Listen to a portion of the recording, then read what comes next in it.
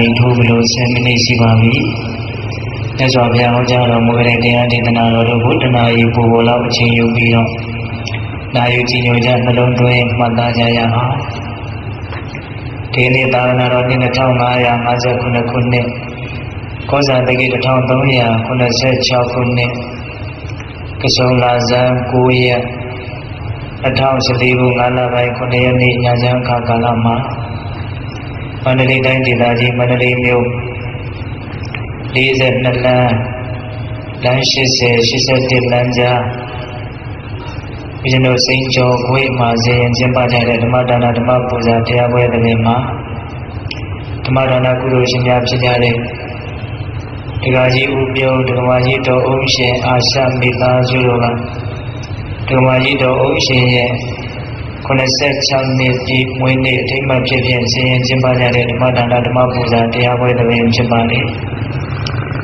ဒီနေ့ညတရားနာရောက်ရှိလာကြတဲ့ပြည်တော်ကောင်းတော်ကောင်းတို့ကိုဦးဇင်းတို့ဗတရားဟောမှလည်းရှိလို့ရှိရဲ့ဘုရားရှင်ကိုရောမြတ်ကြီးဟောကြားတော်မူခဲ့တဲ့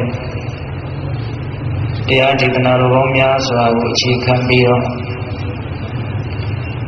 မေတ္တာရှိ၍ သစ္စာတိပါလို့တရားကောင်းစဉ်ပြပြီးတော့ပိသပေါင်းတော်တော်ဦးဇင်းတို့ဒီကနေ့ညဟောပါမယ်။မနေ့တုန်းကကုသိုလ်နဲ့အကုသိုလ်ဆိုပြီးတော့ပိသပေါင်းတော်တော်နာယူခြင်းညွှန်ခဲ့ကြတယ်။ဒီကနေ့မေတ္တာနဲ့သစ္စာရဲ့အကြောင်းမေတ္တာရှိ၍သစ္စာတိပါတဲ့မိမိတို့ရဲ့တန်တမှာတပါတော်တတ္တဝါတွေရဲ့ပုံမှာချမ်းသာစေလိုတဲ့စိတ်ကောင်းသားစေလိုတဲ့စိတ်ဖြစ်တဲ့ မေတ္တာစိတ်တက်ကလေးရှိအောင်ကြိုးစားအထောက်ကြရမယ်ပေါ့မေတ္တာရှိဖို့လိုတယ်အဲ့လိုမေတ္တာရှိဖို့လိုတယ်လို့အမှန်တရားဖြစ်တဲ့သစ္စာတရားတွေကိုလည်းပဲသိမြင်နားလည်ဖို့လိုပါတယ်ဘဝရဲ့သဘောဟာဘယ်လိုသဘောတဘာဝရှိတယ်လဲအစရှိတဲ့ဖြင့်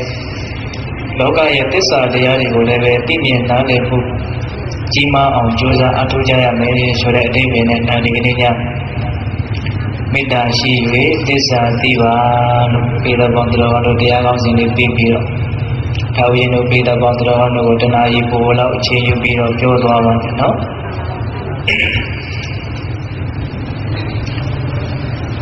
ဒီတရားဒေသနာတော်ကိုမဟောကြားသေးခင်မနာကြသေးခင်မှာတရားတော်အလုံးကိုဟောကြားတော်မူခဲ့တဲ့ဘုရားရှင်ကိုယ်တော်မြတ်ရဲ့အင်မတန်အေးချမ်းကြည်လင်တော်မူတဲ့မဟာကရုဏာကို သိစရာတရားလုံးစုံကိုသိတော်မူမြင်တော်မူတဲ့သဗ္ဗညုတဉာဏ်ဒီဟုသောပညာကိုဒုမဟာကရုဏာကိုပညာကိုနှစ်ပါးစုံသောဖြင့်ပြည့်စုံတော်မူတဲ့ဘုရားရှင်ကိုယ်တော်မြတ်ကိုယုံသိမြတ်လို့ရှိခိုးပူဇော်ကြအောင်စို့အလုံးလည်းဥချီမှုပြီးတော့အာယုံပြုကြရအောင်ကရုဏာတိတလဟရယပညာပေဇောတဝိဟတမောဟတမံ သာနရမရလောကကရုံဝနေဒုက္ကတံဂတိဝိမု ढ ံကရုဏာတိတလဟရယမဟာကရုဏာတော်ဖြင့်ဤမြတော်စိတ်နှလုံးလည်းရှိတော်မူပါမိထသောပညာပေဇောတဝိဟတမောဟတမံအရဟတမေတိဟူသောအယဝနေဖြင့်ဝိဇ္ဇာတိဟူသောမိုက်မောင်မှုပြေခွာတော်မူ၏ထသော သာနရမေရလောကကရုလူနဲ့ပြမတ္တဝနာတတို့၏ကြောင့်ဒီတန်တို့လေကရုပြုရာတဆူလီတော်ဆရာသခင်လည်းဖြစ်တော်မူပါမိထသောဂတိဝိမု ढ ံဒီဝမနုဿာမိရေယနှင့်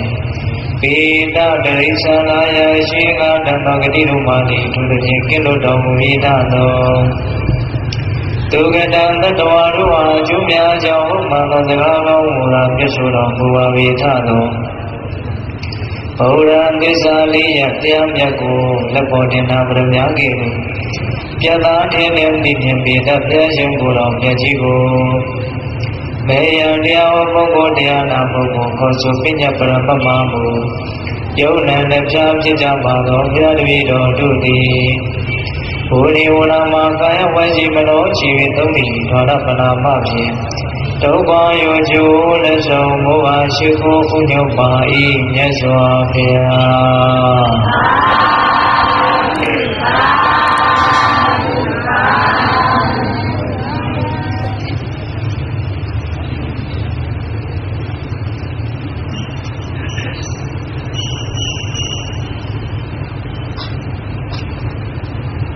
မေတ္တာရှိ၍သစ္စာသိပါတဲ့စတင်ပြီးတော့နာယုံချင်းညွှန်ကြရအောင်ဘုရားဒီကနေ့ညမေတ္တာတရားရဲ့အကြောင်းသစ္စာတရားရဲ့အကြောင်းကိုနာယုံချင်းညွှန်ရမယ်နော်အဲ့တော့ဘုရားပထမဘုရားမေတ္တာတရားနဲ့ပတ်သက်ပြီးတော့မေတ္တာတရားဆိုတာဘာကိုပြောတာလဲမေတ္တာတရားကိုပွားများရင်ဘယ်လိုအကျိုးကျေးဇူးတွေရှိနိုင်တယ်လဲမေတ္တာတရားခန်းချောက်ရင်တော့ဘယ်လိုအပြစ်အနာစာဘယ်လိုဆင်းရဲဒုက္ခတွေတွေ့နိုင်တယ်လဲ အစရှိသဖြင့်မေတ္တာတရားနဲ့ပတ်သက်ပြီးတော့မေတ္တာပေါင်းတော်ဝါတို့နာယူခြင်းယုံကြည်ကြမယ်ဘုရားတို့မေတ္တာတရားဆိုတာတတ္တဝါတွေရဲ့ကောင်းကျိုးချမ်းသာကိုလိုလားတဲ့စိတ်ဓာတ်ကိုမေတ္တာတရားလို့ခေါ်တာ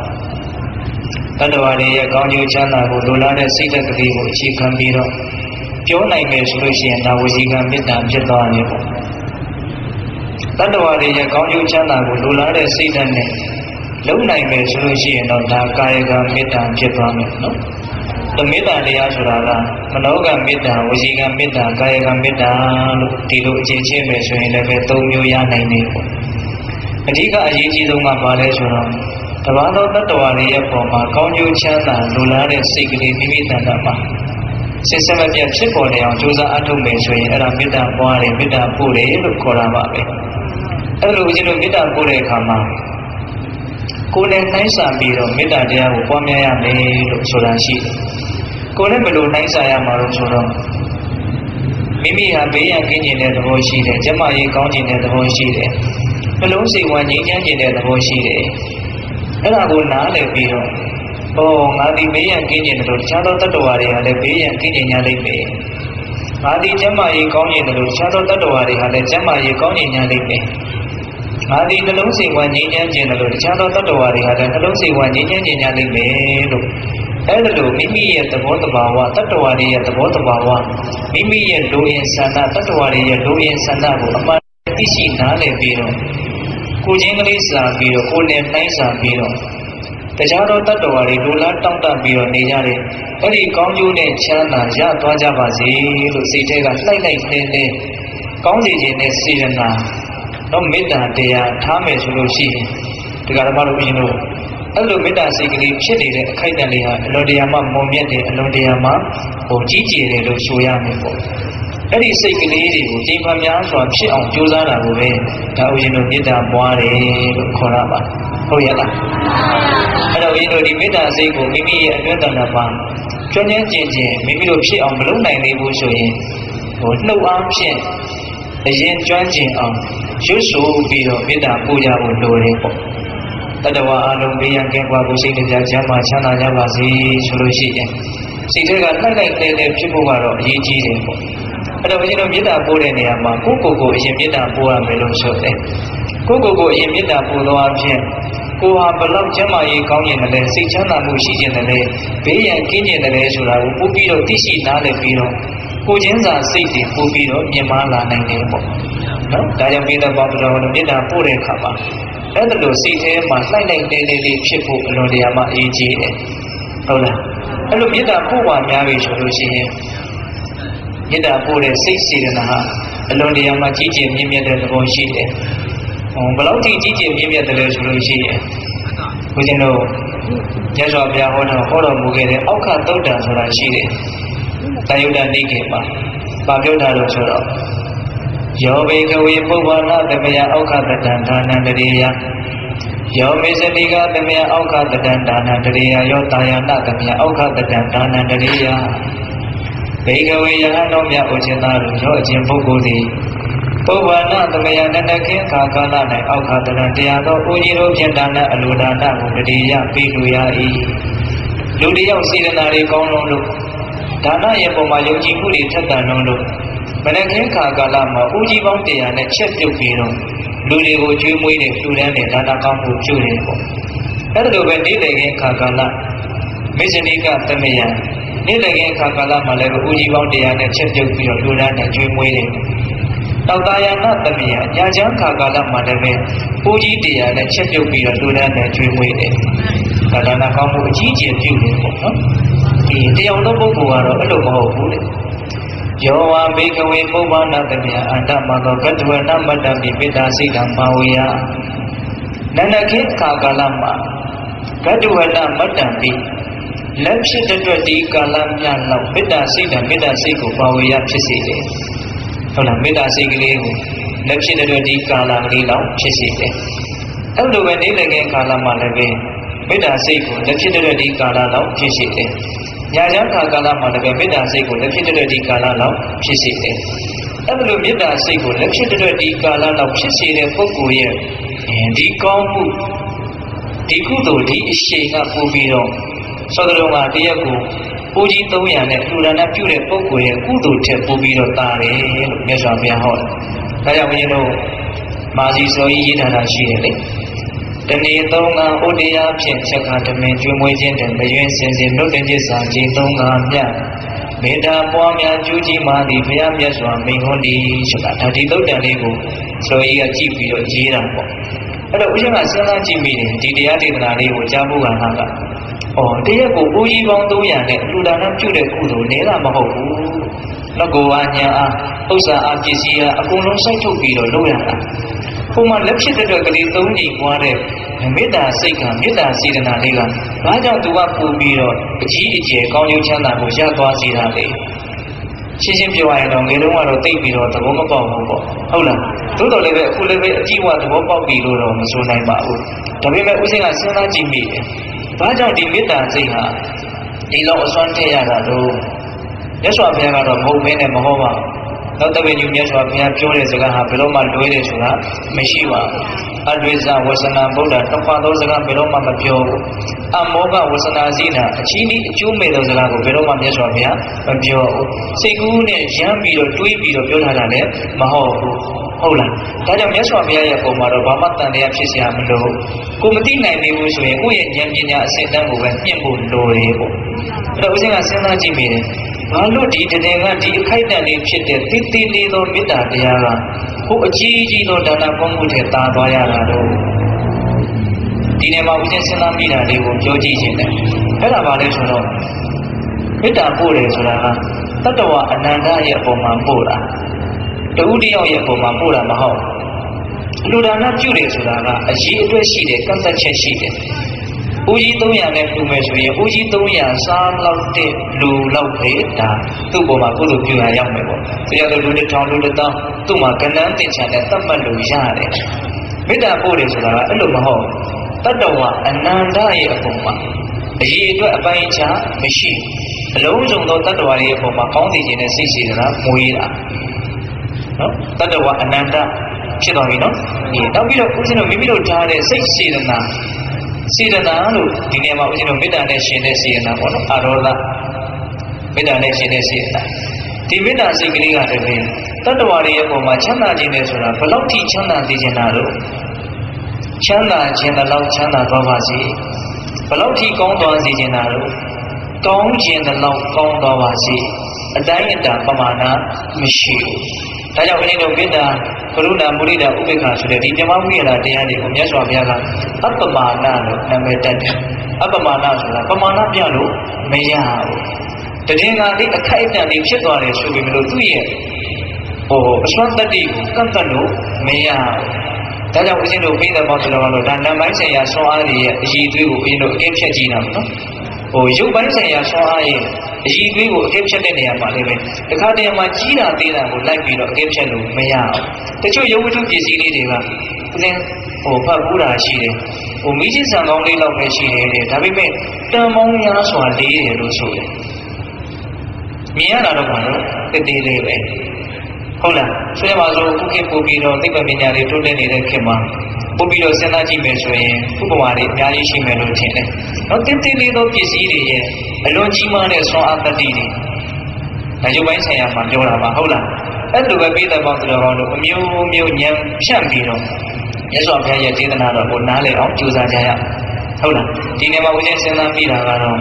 မေတ္တာပို့တယ်ဆိုတာတတ္တဝါကလည်းအနန္တဖြစ်တယ်။မေတ္တာစိတ်ကလည်းအနန္တဖြစ်တယ်။ ဒါကြောင့်ရေသွက်ပိုင်းခြားလို့မရနိုင်တော့အောင်ကြီးကျယ်တဲ့ဒီစိတ်စေရနာစွာအတတိထားကြောင့်ကြီးသွားတယ်။ဒါကြောင့်လည်းဦးဇင်းတို့အင်္ဂုတ္တပါဠိတော်မှာဣစရာသင်္ကတဣစရာသင်္ကတမတ္တမိစေဘိက္ခဝေဘိက္ခုဣစရာသင်္ကတမတ္တမိစေဘိက္ခဝေဘိက္ခုအရိဋ္ဌာဇာနောဝိဟရတိသတ္ထုသာသနာကရောဩဝါဒပတိကရောအမောဃရထပိဏပရိဘုံစတိ ဣစရာသင်္ကတံဗတ္တံပိစေဘိကွေဘိက္ခုမေတ္တာစိတံပါဝိတိအယံဩဇတိဘိက္ခဝေဘိက္ခုအရိဋ္ဌသနောဝိဟရတိ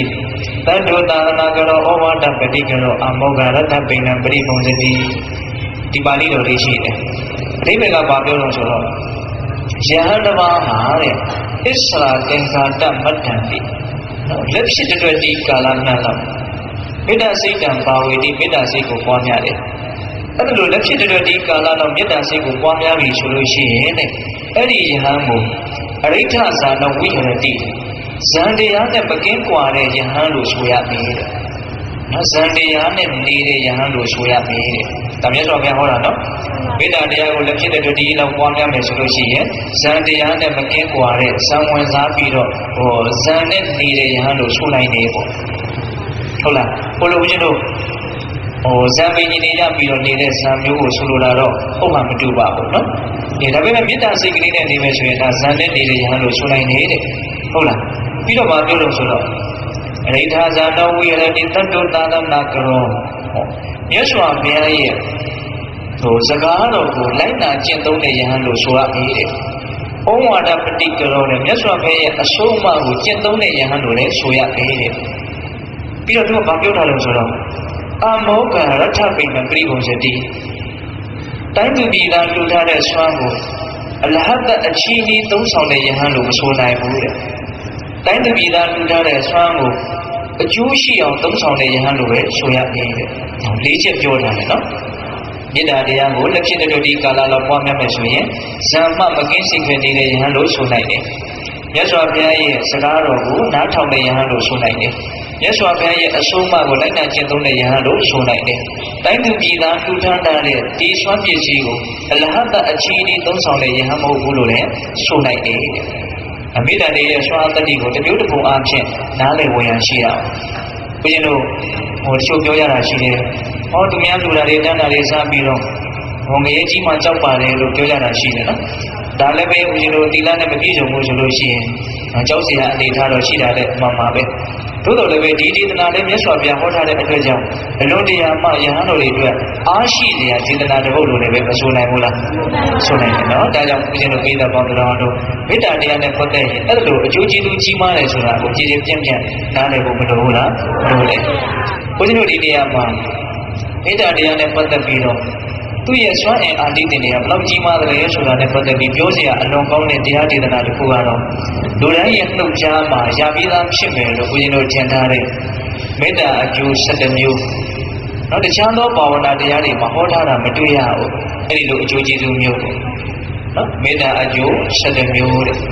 အဲ့ဒီမှာဘုရင်တို့ပြည်သက်ပေါင်းသူတော်တို့နှုတ်ထဲမှာတိုးပြီးသားများရှိလိမ့်မလားမသိဘူးနော်အိမ်နိုးချမ်းသာ ကောင်းစွာအိမ်မဲ့ချစ်လျက်လူနဲ့ဆောင်းလက်နှမြစိန်ပြီးသားတို့ရှောင်ရှားကိုမှာ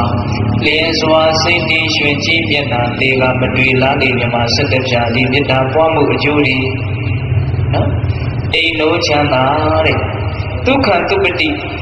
မေတ္တာတရားအားကြီးတဲ့ပုဂ္ဂိုလ်မေတ္တာတရားကိုပွားများတဲ့အလေးထားရှိတဲ့ပုဂ္ဂိုလ်ဟာချမ်းချမ်းသာသာအိရှရတဲ့မင်းလည်းချမ်းချမ်းသာသာအိရှရတယ်ဆိုတဲ့အကျိုးကျေးဇူးကလည်းလူတိုင်းရတာတော့မဟုတ်ဘူးနော် နော်ဦးရင်တို့လုပ်ငန်းကဏ္ဍတွေများလေပိုင်ဆိုင်မှုတွေကြီးလေချမ်းချမ်းသာသာမအေးရနေပဲလို့ထင်တယ်။ဟောဆိုစိတ်တွေကရှုပ်ထွေးပြီးတော့ဒီအားတွေကများပြီးတော့ဟုတ်လား။တဲ့တယ်ပြောရင်လောဘဒေါသတွေအားကြီးပြီးတော့ဟုတ်ရဲ့လား။အေးရတဲ့အခါလေးနားရတဲ့အခါလေးတော့မှကြီးကြီးလေးလေးချမ်းချမ်းသာသာအိတ်ဆက်ရတယ်နားရတယ်လို့မရှိဘူး။နော်ဦးရင်တို့တော်တော်များများဆိုလို့ရှိရင်အိတ်ရှိရဲ့အကူကြီးမပါဘဲနဲ့အိတ်မပြောကြဘူးလို့ဆိုတယ်။ ဒါတော်တော်ဝမ်းနည်းစရာကောင်းတဲ့ကိစ္စပါပဲဟုတ်လား။အဲ့ဒါချမ်းချမ်းသာသာကြီးကြီးလေးလေးအိပ်ပျော်ရင်လည်းဆိုလို့ရှိရင်မေတ္တာတရားကိုအာကိုကိုလိုတယ်စိတ်နှလုံးကိုပင်ပန်းစေတယ်စိတ်ကိုအပြစ်နာစာအများကြီးဖြစ်စေတယ်ဆိုတာဒေါသတရားပဲ။ရာရာကိုစိတ်တိုင်းမကြဘူး။တော့ရာရာပုံမှမကြည်တတ်ဘူးဆိုရင်ဒီမကြည်တတ်တဲ့စိတ်တိုင်းမကြတဲ့စိတ်တွေများလာတာလေများလာလေးလေးချမ်းချမ်းသာသာအိပ်ဆက်ဖို့ခက်လေလေပဲ။ဟုတ်လား။ဒါကြောင့်မေတ္တာတရားကိုပွားများမယ်ဆိုရင်တည့်အချင်းဒုက္ခသုပတိချမ်းချမ်းသာသာအိပ်ဆက်ရလိမ့်မယ်။ ဒုက္ခပฏิပုဇ္ဇတိချမ်းချမ်းသာသာလည်းလိုရလိမ့်မယ်ဒါလည်းလိုအပ်တာပဲတခါလေအိတ်တာအိတ်တယ်အိတ်ပျော်ဟာနိုးတာနိုးလာတယ်အိတ်ကြီးဝရတယ်ဆိုတဲ့ခံစားချက်မရှိဘူးကြီးကြီးလင်းလင်းမရှိဘူးထိုင်ဒီထိုင်မိုင်းနဲ့ဆက်ပြီးတော့အိတ်ချင်တာလို့ထားရအောင်မလို့ကိုလိုလိုဒီလိုလိုနဲ့စိတ်ဟာမကြည့်မလင်းနဲ့ချမ်းချမ်းသာသာနိုးလာတဲ့အနေထားမဟုတ်အဲ့လိုမျိုးမဖြစ်အောင်မေတ္တာတရားကိုပွားများဖို့လိုတယ်နောက်ပြီးတော့ဦးဇင်းတို့နဘာဝကန္တသုပိနံပတ္တိ မေတ္တာတရားကိုပွားများမယ်ဆိုလို့ရှိရင်အိမ်မဆိုးတွေမမနိုင်အိမ်နေတုံးလေးမှာချမ်းချမ်းသာသာအနားယူရရောက်တယ်။နောက်ဝင်အိမ်မဆိုးလေး၆ချမ်းစရာအိမ်မတင်နဲ့တော့အိမ်နေတုံးမှာတော့မချမ်းသာရဘူးပေါ့ဟုတ်လား။ဒါကြောင့်အိမ်နိုးချမ်းသာကောင်းစွာအိမ်မဲ့ဖြစ်လျက်ဒုနဲ့ဟောမနုဿာနပိယောဟောတိအမနုဿာနပိယောဟောတိမေတ္တာတရားကိုပွားများမယ်ဆိုလို့ရှိရင်လူသားတွေရဲ့ဖြစ်ချင်းမေတ္တာကိုမိမိရတယ်။ နော်လူမဟုတ်တဲ့တခြားသောတတ္တဝါတွေရဲ့ချစ်ချင်းမေတ္တာကိုလည်းမိမိရတယ်။ဒါဟာလောကကြီးကရတဲ့အရာတွေတွေကအလွန်တန်ဖိုးထားတဲ့ရာချင်းတစ်မျိုးလို့ဥယျာဉ်ထည့်တယ်။နော်ဒါကတော့သေချာစဉ်းစားကြည့်နော်လူတွေဟာလူတွေကြီးကမေတ္တာကိုအလုံးမလိုချင်တယ်တကယ်တမ်းကတော့ဟုတ်လားဟိုလူချင်းချင်းစီကမေတ္တာတရားကိုပြောနေဟိုဥယျာဉ်စဉ်းစားမိတာတွေကိုပြောမယ်ဟိုခွေးတကောင်စီကမေတ္တာကိုတောင်းလူတွေဟာလိုချင်တယ်။နောက်ကိုအမိကလေးနှံပြီးတော့ ဟောယူရတဲ့ခါရတဲ့သဘောနဲ့ချစ်ခင်တဲ့သဘောနဲ့လာပြီးတော့ကိုနန်းလာတယ်ဆိုကိုယ့်ရဲ့စိတ်ထဲမှာဘလို့ဖြစ်သွားလဲ။အကြည်နူးသွားတယ်သဘောကျသွားတယ်။ဟုတ်လားဒါကြောင့်ကျုပ်ကပြောလာတာမရှိတယ်။ဟောအလွန်လိမ္မာတဲ့ကိုယ့်ပုံမှာမေတ္တာပေးနိုင်တဲ့ခွေးလေးတွေကြောင်လေးတွေမွေးထားလို့ရှင်သွေးတိုးယောဂါတို့ဘာလို့တော့ထိုက်တဲ့လောက်တတ်တာရရတယ်လို့ဆိုတာကြားလို့လေ။ဟောပြောနေတာကဘာလို့ဆိုတော့လူတွေရဲ့မေတ္တာကိုလူတွေကအလွန်မှလိုချင်တယ်။ အဲ့လိုလိုချင်နေရခြင်းနဲ့ဆိုရင်ကိုကမေတ္တာအရှင်ပေးဖို့လိုတယ်လူတွေရဲ့ပုံမှာစိတ်ကောင်းနှလုံးကောင်းမွေးဖို့လိုတယ်ကောင်းလေခြင်းနဲ့စိတ်အများကြီးထားဖို့လိုတယ်ပေါ့ဒါကြောင့်မြတ်စွာဘုရားကမေတ္တာပွားများမယ်ဆိုရင်မနုဿာနဲ့ပိယောဟောတိလူတွေရဲ့ချစ်ချင်းမေတ္တာကိုရမယ်အမနုဿာနဲ့ပိယောဟောတိလူမဟုတ်တဲ့တခြားသောတတ္တဝါတွေရဲ့မေတ္တာကိုလည်းရမယ်ဘာလို့ဆိုကိုယ်ကလည်းအဲ့ဒီတတ္တဝါတွေပုံမှာမေတ္တာထားတာကိုဟုတ်ရဲ့လားဒါတယ်လားဆိုတော့မကဘူးတဲ့ဒေဝဒနာရခန္တိနတ်တွေရဲ့ စောင့်ရှောက်ခြင်းဆိုတာကိုလည်းရနိုင်တယ်နော်မေတ္တာတရားပွားများမယ်ဆိုရင်လက်တွေကကိုယ့်ကိုစောင့်ရှောက်မယ်လို့ဆိုတယ်။ဟောဒါကတော့တရားမလို့ဦးဇင်းတို့လူလာမဏေရဲ့ဉာဏ်နေနဲ့သိဖို့မြင်ဖို့တော့မလွယ်ဘူးပေါ့။ကိုကမေတ္တာခွန်အားတကယ်ကြီးလာပြီ။စိတ်ထဲမှာဒေါသဆိုတာမဖြစ်တော့အောင်ဟုတ်လားဒေါသတရားတွေပါလဲရပြီးတော့အလုံးရဲ့ပုံမှာချစ်ခင်မြတ်လို့တဲ့စိတ်မွေးနိုင်ရင်မွေးနိုင်တယ်လို့နော်ဒီစိတ်ရဲ့စွမ်းအားဒီအနေအထားကိုဘေးကလက်တွေကမသိဘဲနေမှာမဟုတ်ဘူးဆိုတဲ့အသေးပဲပါပဲ သိပြီဆိုရင်သူတို့ကလည်းချစ်ခင်မြတ်လို့မှုရှိတဲ့အတွက်ကြောင့်ကိုယ့်ကိုဘေးဆိုးအန္တရာယ်ဆိုးတွေမကြမရောက်ရအောင်ကာကွယ်စောင့်ရှောက်တဲ့အနေအထားမျိုးကိုတောင်ကိုဟာရနိုင်တယ်။ဒါမြတ်စွာဘုရားဟောထားတာပါနော်။အေးအိမ်နိုးချမ်းသာကောင်းစွာအိမ်မဲချစ်လျက်လူနဲ့စောင့်လက်နှံ့များစိတ်မိသားတို့ရှောင်ရှားကိုမှာနတ္တအဂိဝဝိတံဝတ္ထဝကမတိတဲ့နော်မီးတို့ဓာတ်တို့လက်လက်တို့နဲ့ကိုယ်မှာဒုက္ခရောက်စရာအကြောင်းမရှိဘူးဘေးအန္တရာယ်ကင်းနိုင်တယ်ပေါ့နော် စိတ်မိသားတို့ရှောင်ရှားကိုမှာလျင်စွာစိတ်တည်ဟောပြုတ်တာစိတ်ဓာတ်တမာရိယတည်မေတ္တာတရားပွားများတဲ့ပုဂ္ဂိုလ်ရဲ့စိတ်ဟာအလွန်မှလင်းလင်းမြန်မြန်တည်ငြိမ်တဲ့သဘောရှိတယ်။တနည်းအားဖြင့်ဘာဝနာတရားတွေထဲမှာမေတ္တာဘာဝနာဟာစိတ်ကိုမြန်မြန်ဆန်ဆန်တည်ငြိမ်စေတဲ့ဘာဝနာတရားတစ်မျိုးလို့ဆိုတယ်။ဒီကနေ့ကစိတ်ဟာမငြိမ်ဘူးဆိုတာဘာကြောင့်မို့လို့မင်းဒေါသကြောင့်ဆင်းရဲရင်စိတ်ဟာမငြိမ်ဘူး။ဆိုရပါစို့ဥပမာပေးတဲ့ပေါင်းတော်ကောင်းတို့ ဟိုရှင်းတာလေးတစ်ခုပြောမယ်။စိတ်ရဲ့သဘောတရားဟာချမ်းသာရင်တည်ငြိမ်တာပဲဒါကြောင့်တမာတိဆိုတာချမ်းသာရင်တမာတိဖြစ်ထွက်တယ်နော်ဆင်းရဲရင်စိတ်ဟာမတည်နေဆင်းရဲတာကြီးကိုမကြိုက်တဲ့ကြောင့်ဒီနေရာမှာစိတ်ဒီနားမှာစိတ်ဟာရက်တည်ဖို့မလွယ်ဒါကြောင့်ဒီချို့သိပ်ပြီးတော့ယောဂဝေဒနာပြင်းထန်တယ်ဒုက္ခဝေဒနာသိပ်ပြင်းထန်တယ်ဆိုလို့ရှိရင်စိတ်တွေကမငြိမ်တော့ဟုတ်လားအေးဒါကြောင့်စိတ်ကဘာကြောင့်မငြိမ်လဲဆိုရင်စိတ်တိုင်းမကြမှုဒေါသတရားကို ဟိုများသောဖြင့်လက်ခံမယ်ဆိုရင်စိတ်ဟာမငြိမ်တဲ့သဘောရှိတယ်။ခုမေတ္တာတရားကတော့ဒေါသနဲ့ဆန့်ကျင်ပဲဖြစ်တဲ့အတွက်ကြောင့်မေတ္တာတရားကိုပွားများမယ်ဆိုလို့ရှိရင်ဒီစိတ်ဟာမြန်မြန်ဆန်ဆန်တည်ငြိမ်လာတဲ့သဘောရှိတယ်။ဟုတ်လားဒီတမာရီကိုအခြေခံပြီးတော့ယုဒ္ဓနန္ဒတို့ရဲ့ဖြစ်ချင်းပြချင်းကိုသိမြင်နားလည်အောင်ကြိုးစားအထုံးမဲ့ပညာတရားကိုရဖို့အတွက်ဒီကရမတို့အရင်တို့အခြေခံအားဖြင့် ဟိုမေတ္တာတရားကိုပွားများရင်းဖြင့်ပညာဘက်ကိုတက်နိုင်ရင်ဘယ်မဖြစ်နိုင်ဘူးလားဖြစ်နိုင်တာပေါ့ကိုဒီမှာစိတ်ကိုအလွန်တည်ငြိမ်နေတဲ့ကမ္မထံတစ်မျိုးလို့ဒါမြတ်စွာဘုရားဟောတာနော်ဒုဝဒ္ဒစိတ်တံသမာဓိယတိပြီးတော့ဘာလို့ဆိုတော့မုခဝန္တောဝိပ္ပတိနဲ့တည်တယ်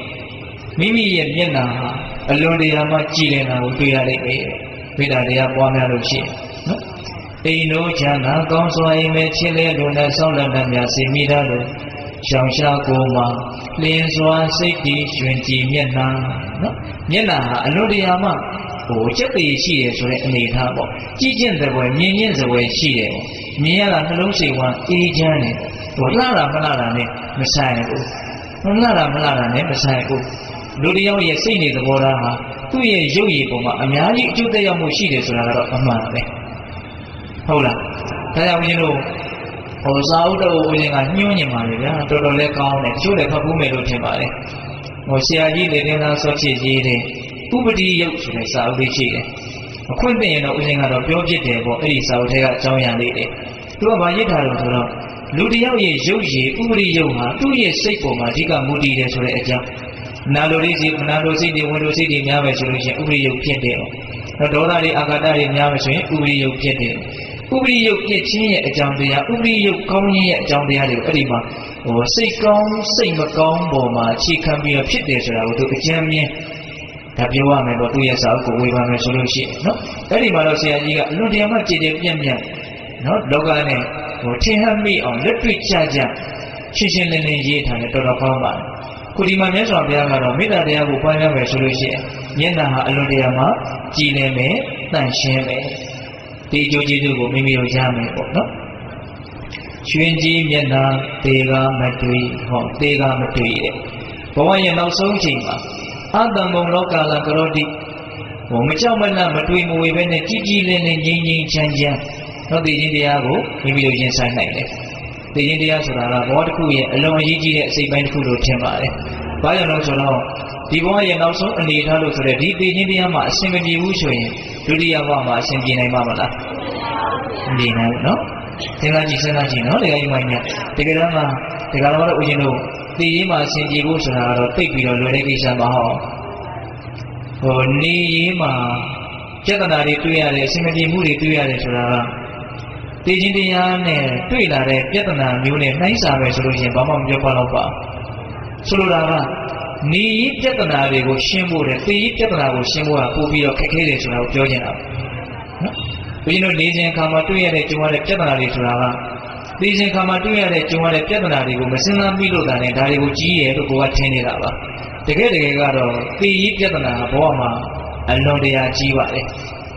ပြည်လေဖို့လည်းအလွန်တရာမှခက်ခဲတယ်လို့ဆိုရင်လေဒီအဲ့လိုကြီးမားတဲ့ခက်ခဲတဲ့ဒီပြဿနာကိုမေတ္တာတရားကိုပွားများခြင်းအပြင်လွယ်လွယ်ကူကူရှင်းသွားနိုင်တယ် ဟုတ်လားအတ္တမုံလောကလံပရောတိသိရေးမှာဟောစိတ်ချရတဲ့အနေအထားမျိုးရအောင်မေတ္တာတရားကတာဝန်ယူနိုင်တယ်ဆိုတဲ့အဓိပ္ပာယ်ကိုပြောရမရဘူးလားကြီးကြီးလင်းလင်းအေးအေးချမ်းချမ်းသိရမှာတော့ဒါကောင်းသောသိခြင်းပေါ့ကောင်းသောသိခြင်းဖြင့်သိမယ်ဆိုရင်တော့ဒုတိယဘဝမှာကောင်းတဲ့ဘဝဆိုတာသိချမ်းနေတာပဲဟုတ်တယ်မဟုတ်လားဒါကြောင့်မိသားစုတော်တော်တို့တချို့ဘာသာရေးကိုစိတ်ဝင်စားလို့တချို့လည်းပဲအသက်ရွယ်ကြီးလာတော့သိရေးနဲ့ပတ်သက်ပြီးတော့ပူနေကြတာလေးတွေရှိကောင်းရှိမယ်ပေါ့ ဒါလည်းပဲပူသင့်တယ်လို့ဦးရင်းထင်ပါတယ်ပူမှလည်းပဲမပူအောင်ကြိုးစားတဲ့အနေအထားကိုရောက်မှာကိုဟုတ်တယ်မဟုတ်လားဘာမှလည်းပဲအရေးချင်းလည်းမရှိဘဲနဲ့ကြိုတင်ပြင်ဆင်မှုလည်းဘာမှမရှိဘဲနဲ့မြက်ကန်းတစီမကြောက်သဘောမျိုးနဲ့ဟာမတို့ကတော့မကြောက်ပါဘူးဆိုတာကတော့သိအသေးပဲမရှိပါဘူးဟုတ်ရဲ့လားအေးဒါကြောင့်ပိဋကပေါင်းတော်ပေါင်းတို့ဘယ်လိုတရားမှခက်ခဲတဲ့ပြည်နေဖို့မလွယ်တဲ့ဒီသိခြင်းတရားကိုပြည်ပြည်လေးလေးချင်းချမ်းသာသာရင်ဆိုင်နိုင်ခြင်းလေဆိုလို့ရှိရင် မေတ္တာတရားကိုအားကိုးဖို့မလိုဘူးလားလိုတယ်ဒါနဲ့ဆိုဖျားအာမခံထားတာပဲဟုတ်လားအတ္တမုံလောကလံကရောတိတဲ့မတွေ့မဝေတရားလေးပဲ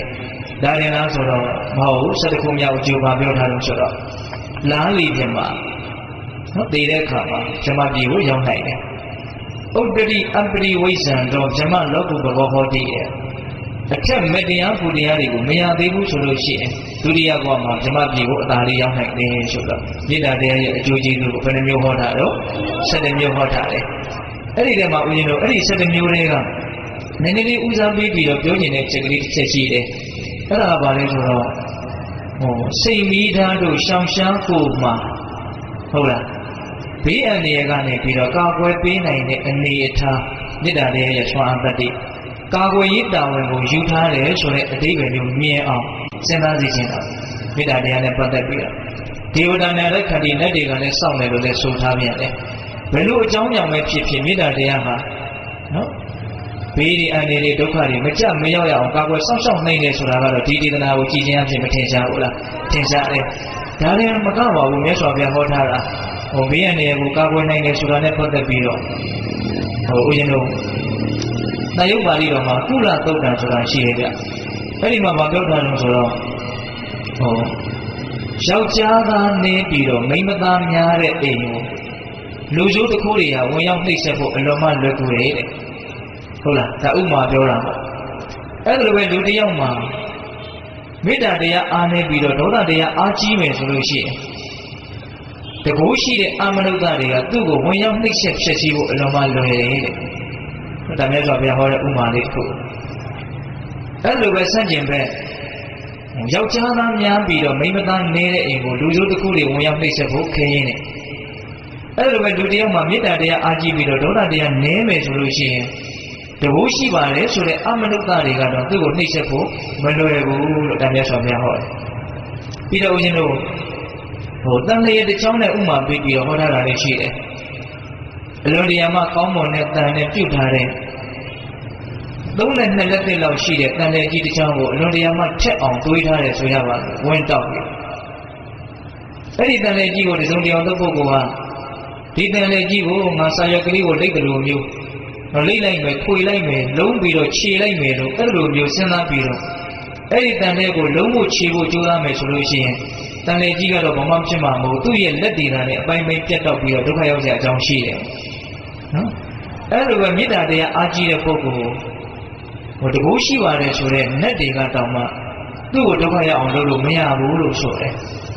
အဲ့ဒီနတ်တည်တာလည်းကိုယ်ပင်ပန်းခြင်းစိတ်ပင်ပန်းခြင်းဖြစ်ရမယ်လို့မြတ်စွာဘုရားကဟောထားတယ်ဟုတ်လားအဲ့တော့ဒီနေရာမှာဦးဇင်းတို့ပြောနေတာကဒီဒေသနာတွေကိုကြည့်ပြီးတော့လည်းပဲအော်မေတ္တာတရားတခြားသောတ attva တွေကိုဒုက္ခပြန်ရောက်သွားစေတဲ့တံပြန်လက်နဲ့တစ်မျိုးလားလို့အဲ့လိုလည်းပဲအထင်တော့မမှားစေခြင်းပေါ့နော်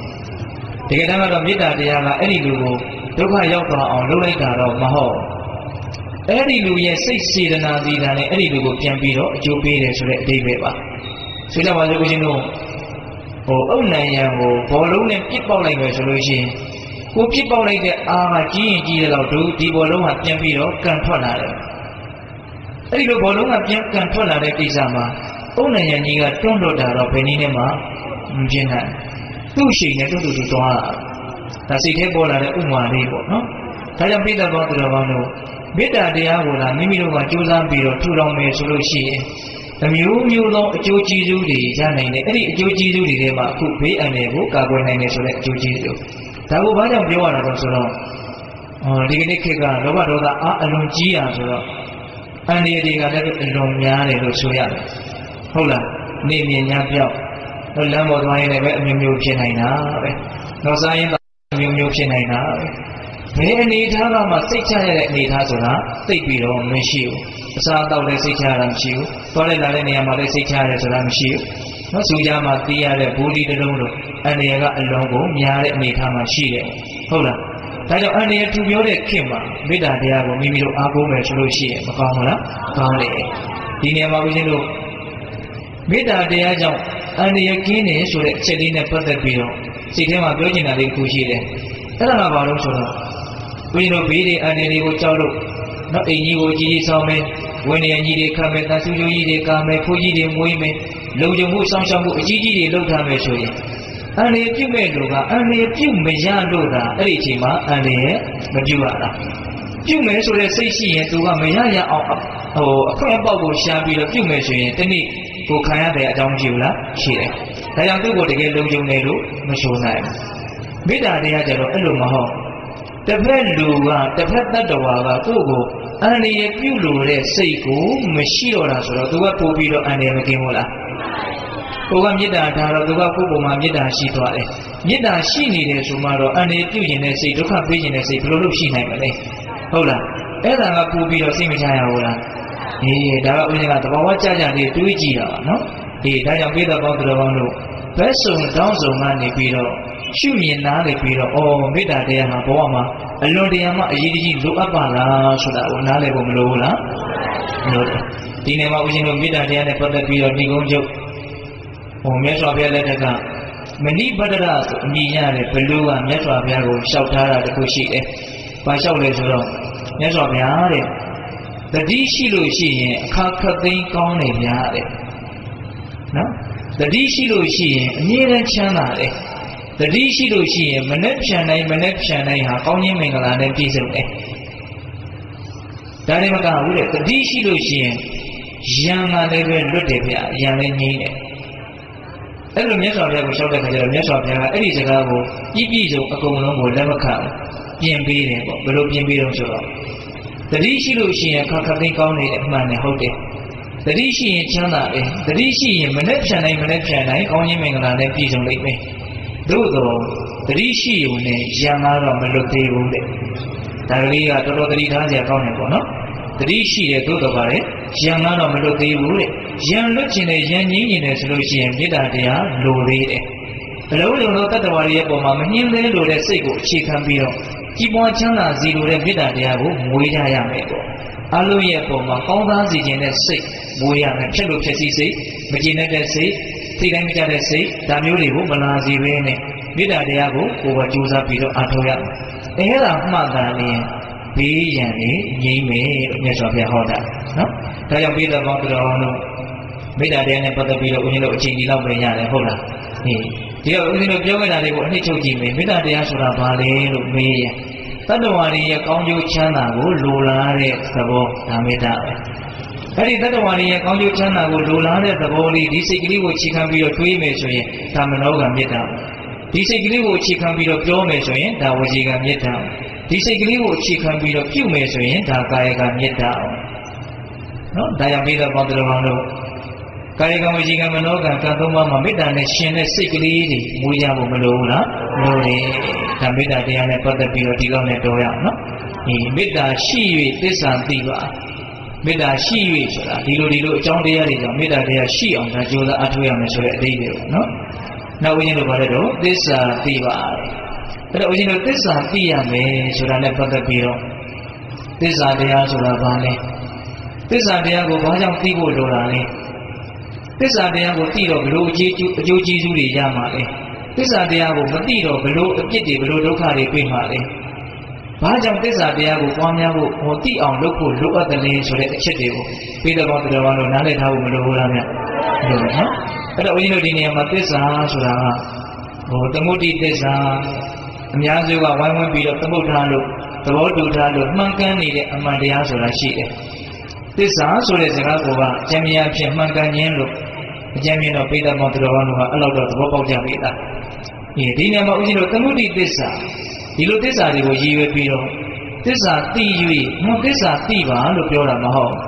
ဒီနေရာမှာသိရမယ့်သစ္စာကဘာလို့ဆိုတော့အရိယသစ္စာလို့ဆိုရဲသစ္စာ၄ပါးဟောသစ္စာ၄ပါးတရားဆိုတာကအမြဲတမ်းသူကမှန်ကန်နေတယ်ဆိုတဲ့အဓိပ္ပာယ်နော်ဘလောက်ပဲကာလကြီးကြာကြာဒီသစ္စာတရားဟာပြောင်းလဲသွားတယ်လို့မရှိဘူးဖောက်ပြန်သွားတယ်လို့မရှိဘူး အတွရှိစွာဘယ်ညကြာလဲတခါတရံမဖောက်ပြန်မဲ့အစဉ်မြဲကိုသစ္စာဆိုတော့တဲ့ဒါလေးကြီးဆိုဘုရားကြီးရဲ့စကားပေါ့နော်ဘလောက်ပဲကာလကြီးကြာလာလားသစ္စာတရားဆိုတာမမှန်တော့ဘူးလို့ဘယ်တော့မှမရှိဘူးကျင့်တဲ့ဦးဇင်းတို့သမုဒိသစ္စာအမျိုးမျိုးသတ်မှတ်ထားလို့တော့အလုံးကဒါဝိုင်းပြီးတော့သဘောတူပြီးတော့သတ်မှတ်ထားလို့မှားတဲ့သစ္စာဆိုတာတွေကအမြဲတမ်းမှန်တယ်လို့မဆိုနိုင်ဘူး။ဒီကမှာဆိုဥမာဦးဇင်းပြောပြမယ်။ ဟိုဒါပါပရိလဲလို့မရင်လူတွေပေါ့။ဘယ်လိုမှလည်းမငင်းပါဘူးမှန်လည်းမှန်ပါတယ်သမုဒိနေရဒါလူတွေမှန်တာပေါ့။ဟုတ်လား။အဲအဲ့လိုဆိုရင်ဦးဇင်းတို့ဒကမာကြီးတယောက်ကိုလည်းညှုပ်ထိုးပြီးတော့ဒါလူလားမိမလားလို့မင်းဟောမိမကြီးလို့ပြောရမယ်။လူဆိုတဲ့အမြင်ဟာနည်းနည်းကြောက်သွားပြန်ဟုတ်လားဒါကအဲ့ဒီဒကမာကြီးကိုပဲကဲသူ့ရဲ့စပယ်မွေးဝင်တော့ဒါစပယ်မွေးလားဒကမာကြီးလားလို့မေးရင်ဘယ်လိုဖြေမလို့စပယ်မွေးလို့ပဲဖြေရလိမ့်မယ်ဟုတ်တယ်မဟုတ်လားအဲ ဒကမာကြီးဆိုတဲ့နာမည်ဟာစပယ်မွေးမှာပျောက်သွားပြန်ရောဟုတ်တယ်မဟုတ်လားအေးအဲ့လိုပဲဦးဇင်းတို့ပေးတတ်ပေါင်းတယ်လို့ညံနဲ့ဖြတ်ပြီးတော့စဉ်းစားကြည့်ပါဟောလက်ကိုစဉ်လက်ကိုထောက်ပြပြီးတော့ဒါလူလားလက်လားလို့မေးရင်လက်လို့ဖြေရလိမ့်မယ်အဲ့ဒီလက်မှာမှလက်ညှိုးကိုထောက်ပြီးတော့ဒါလက်ညှိုးလားလက်လားလို့မေးရင်လက်ညှိုးလို့ဖြေရလိမ့်မယ်ဟိုအဲ့ဒီမှာမှဦးဇင်းတို့လက်သေးကလေးကိုထောက်ပြပြီးတော့ဒါလက်ညှိုးလားလက်သေးလားလို့မေးရင်လက်သေးလို့ဖြေရလိမ့်မယ်ဟိုသူက ကာလတစ်ခုတည်းအခိုက်အတန့်တစ်ခုတည်းပဲမှန်တဲ့သဘောပေါ့အမြဲထာဝရမှန်နေတာမဟုတ်ဘူးဟုတ်ရဲ့လားဒါပေမဲ့ဒီသမုဒိသစ္စာကိုလည်းပဲဒီမှာမှဦးဇင်းတို့ပေလို့မရ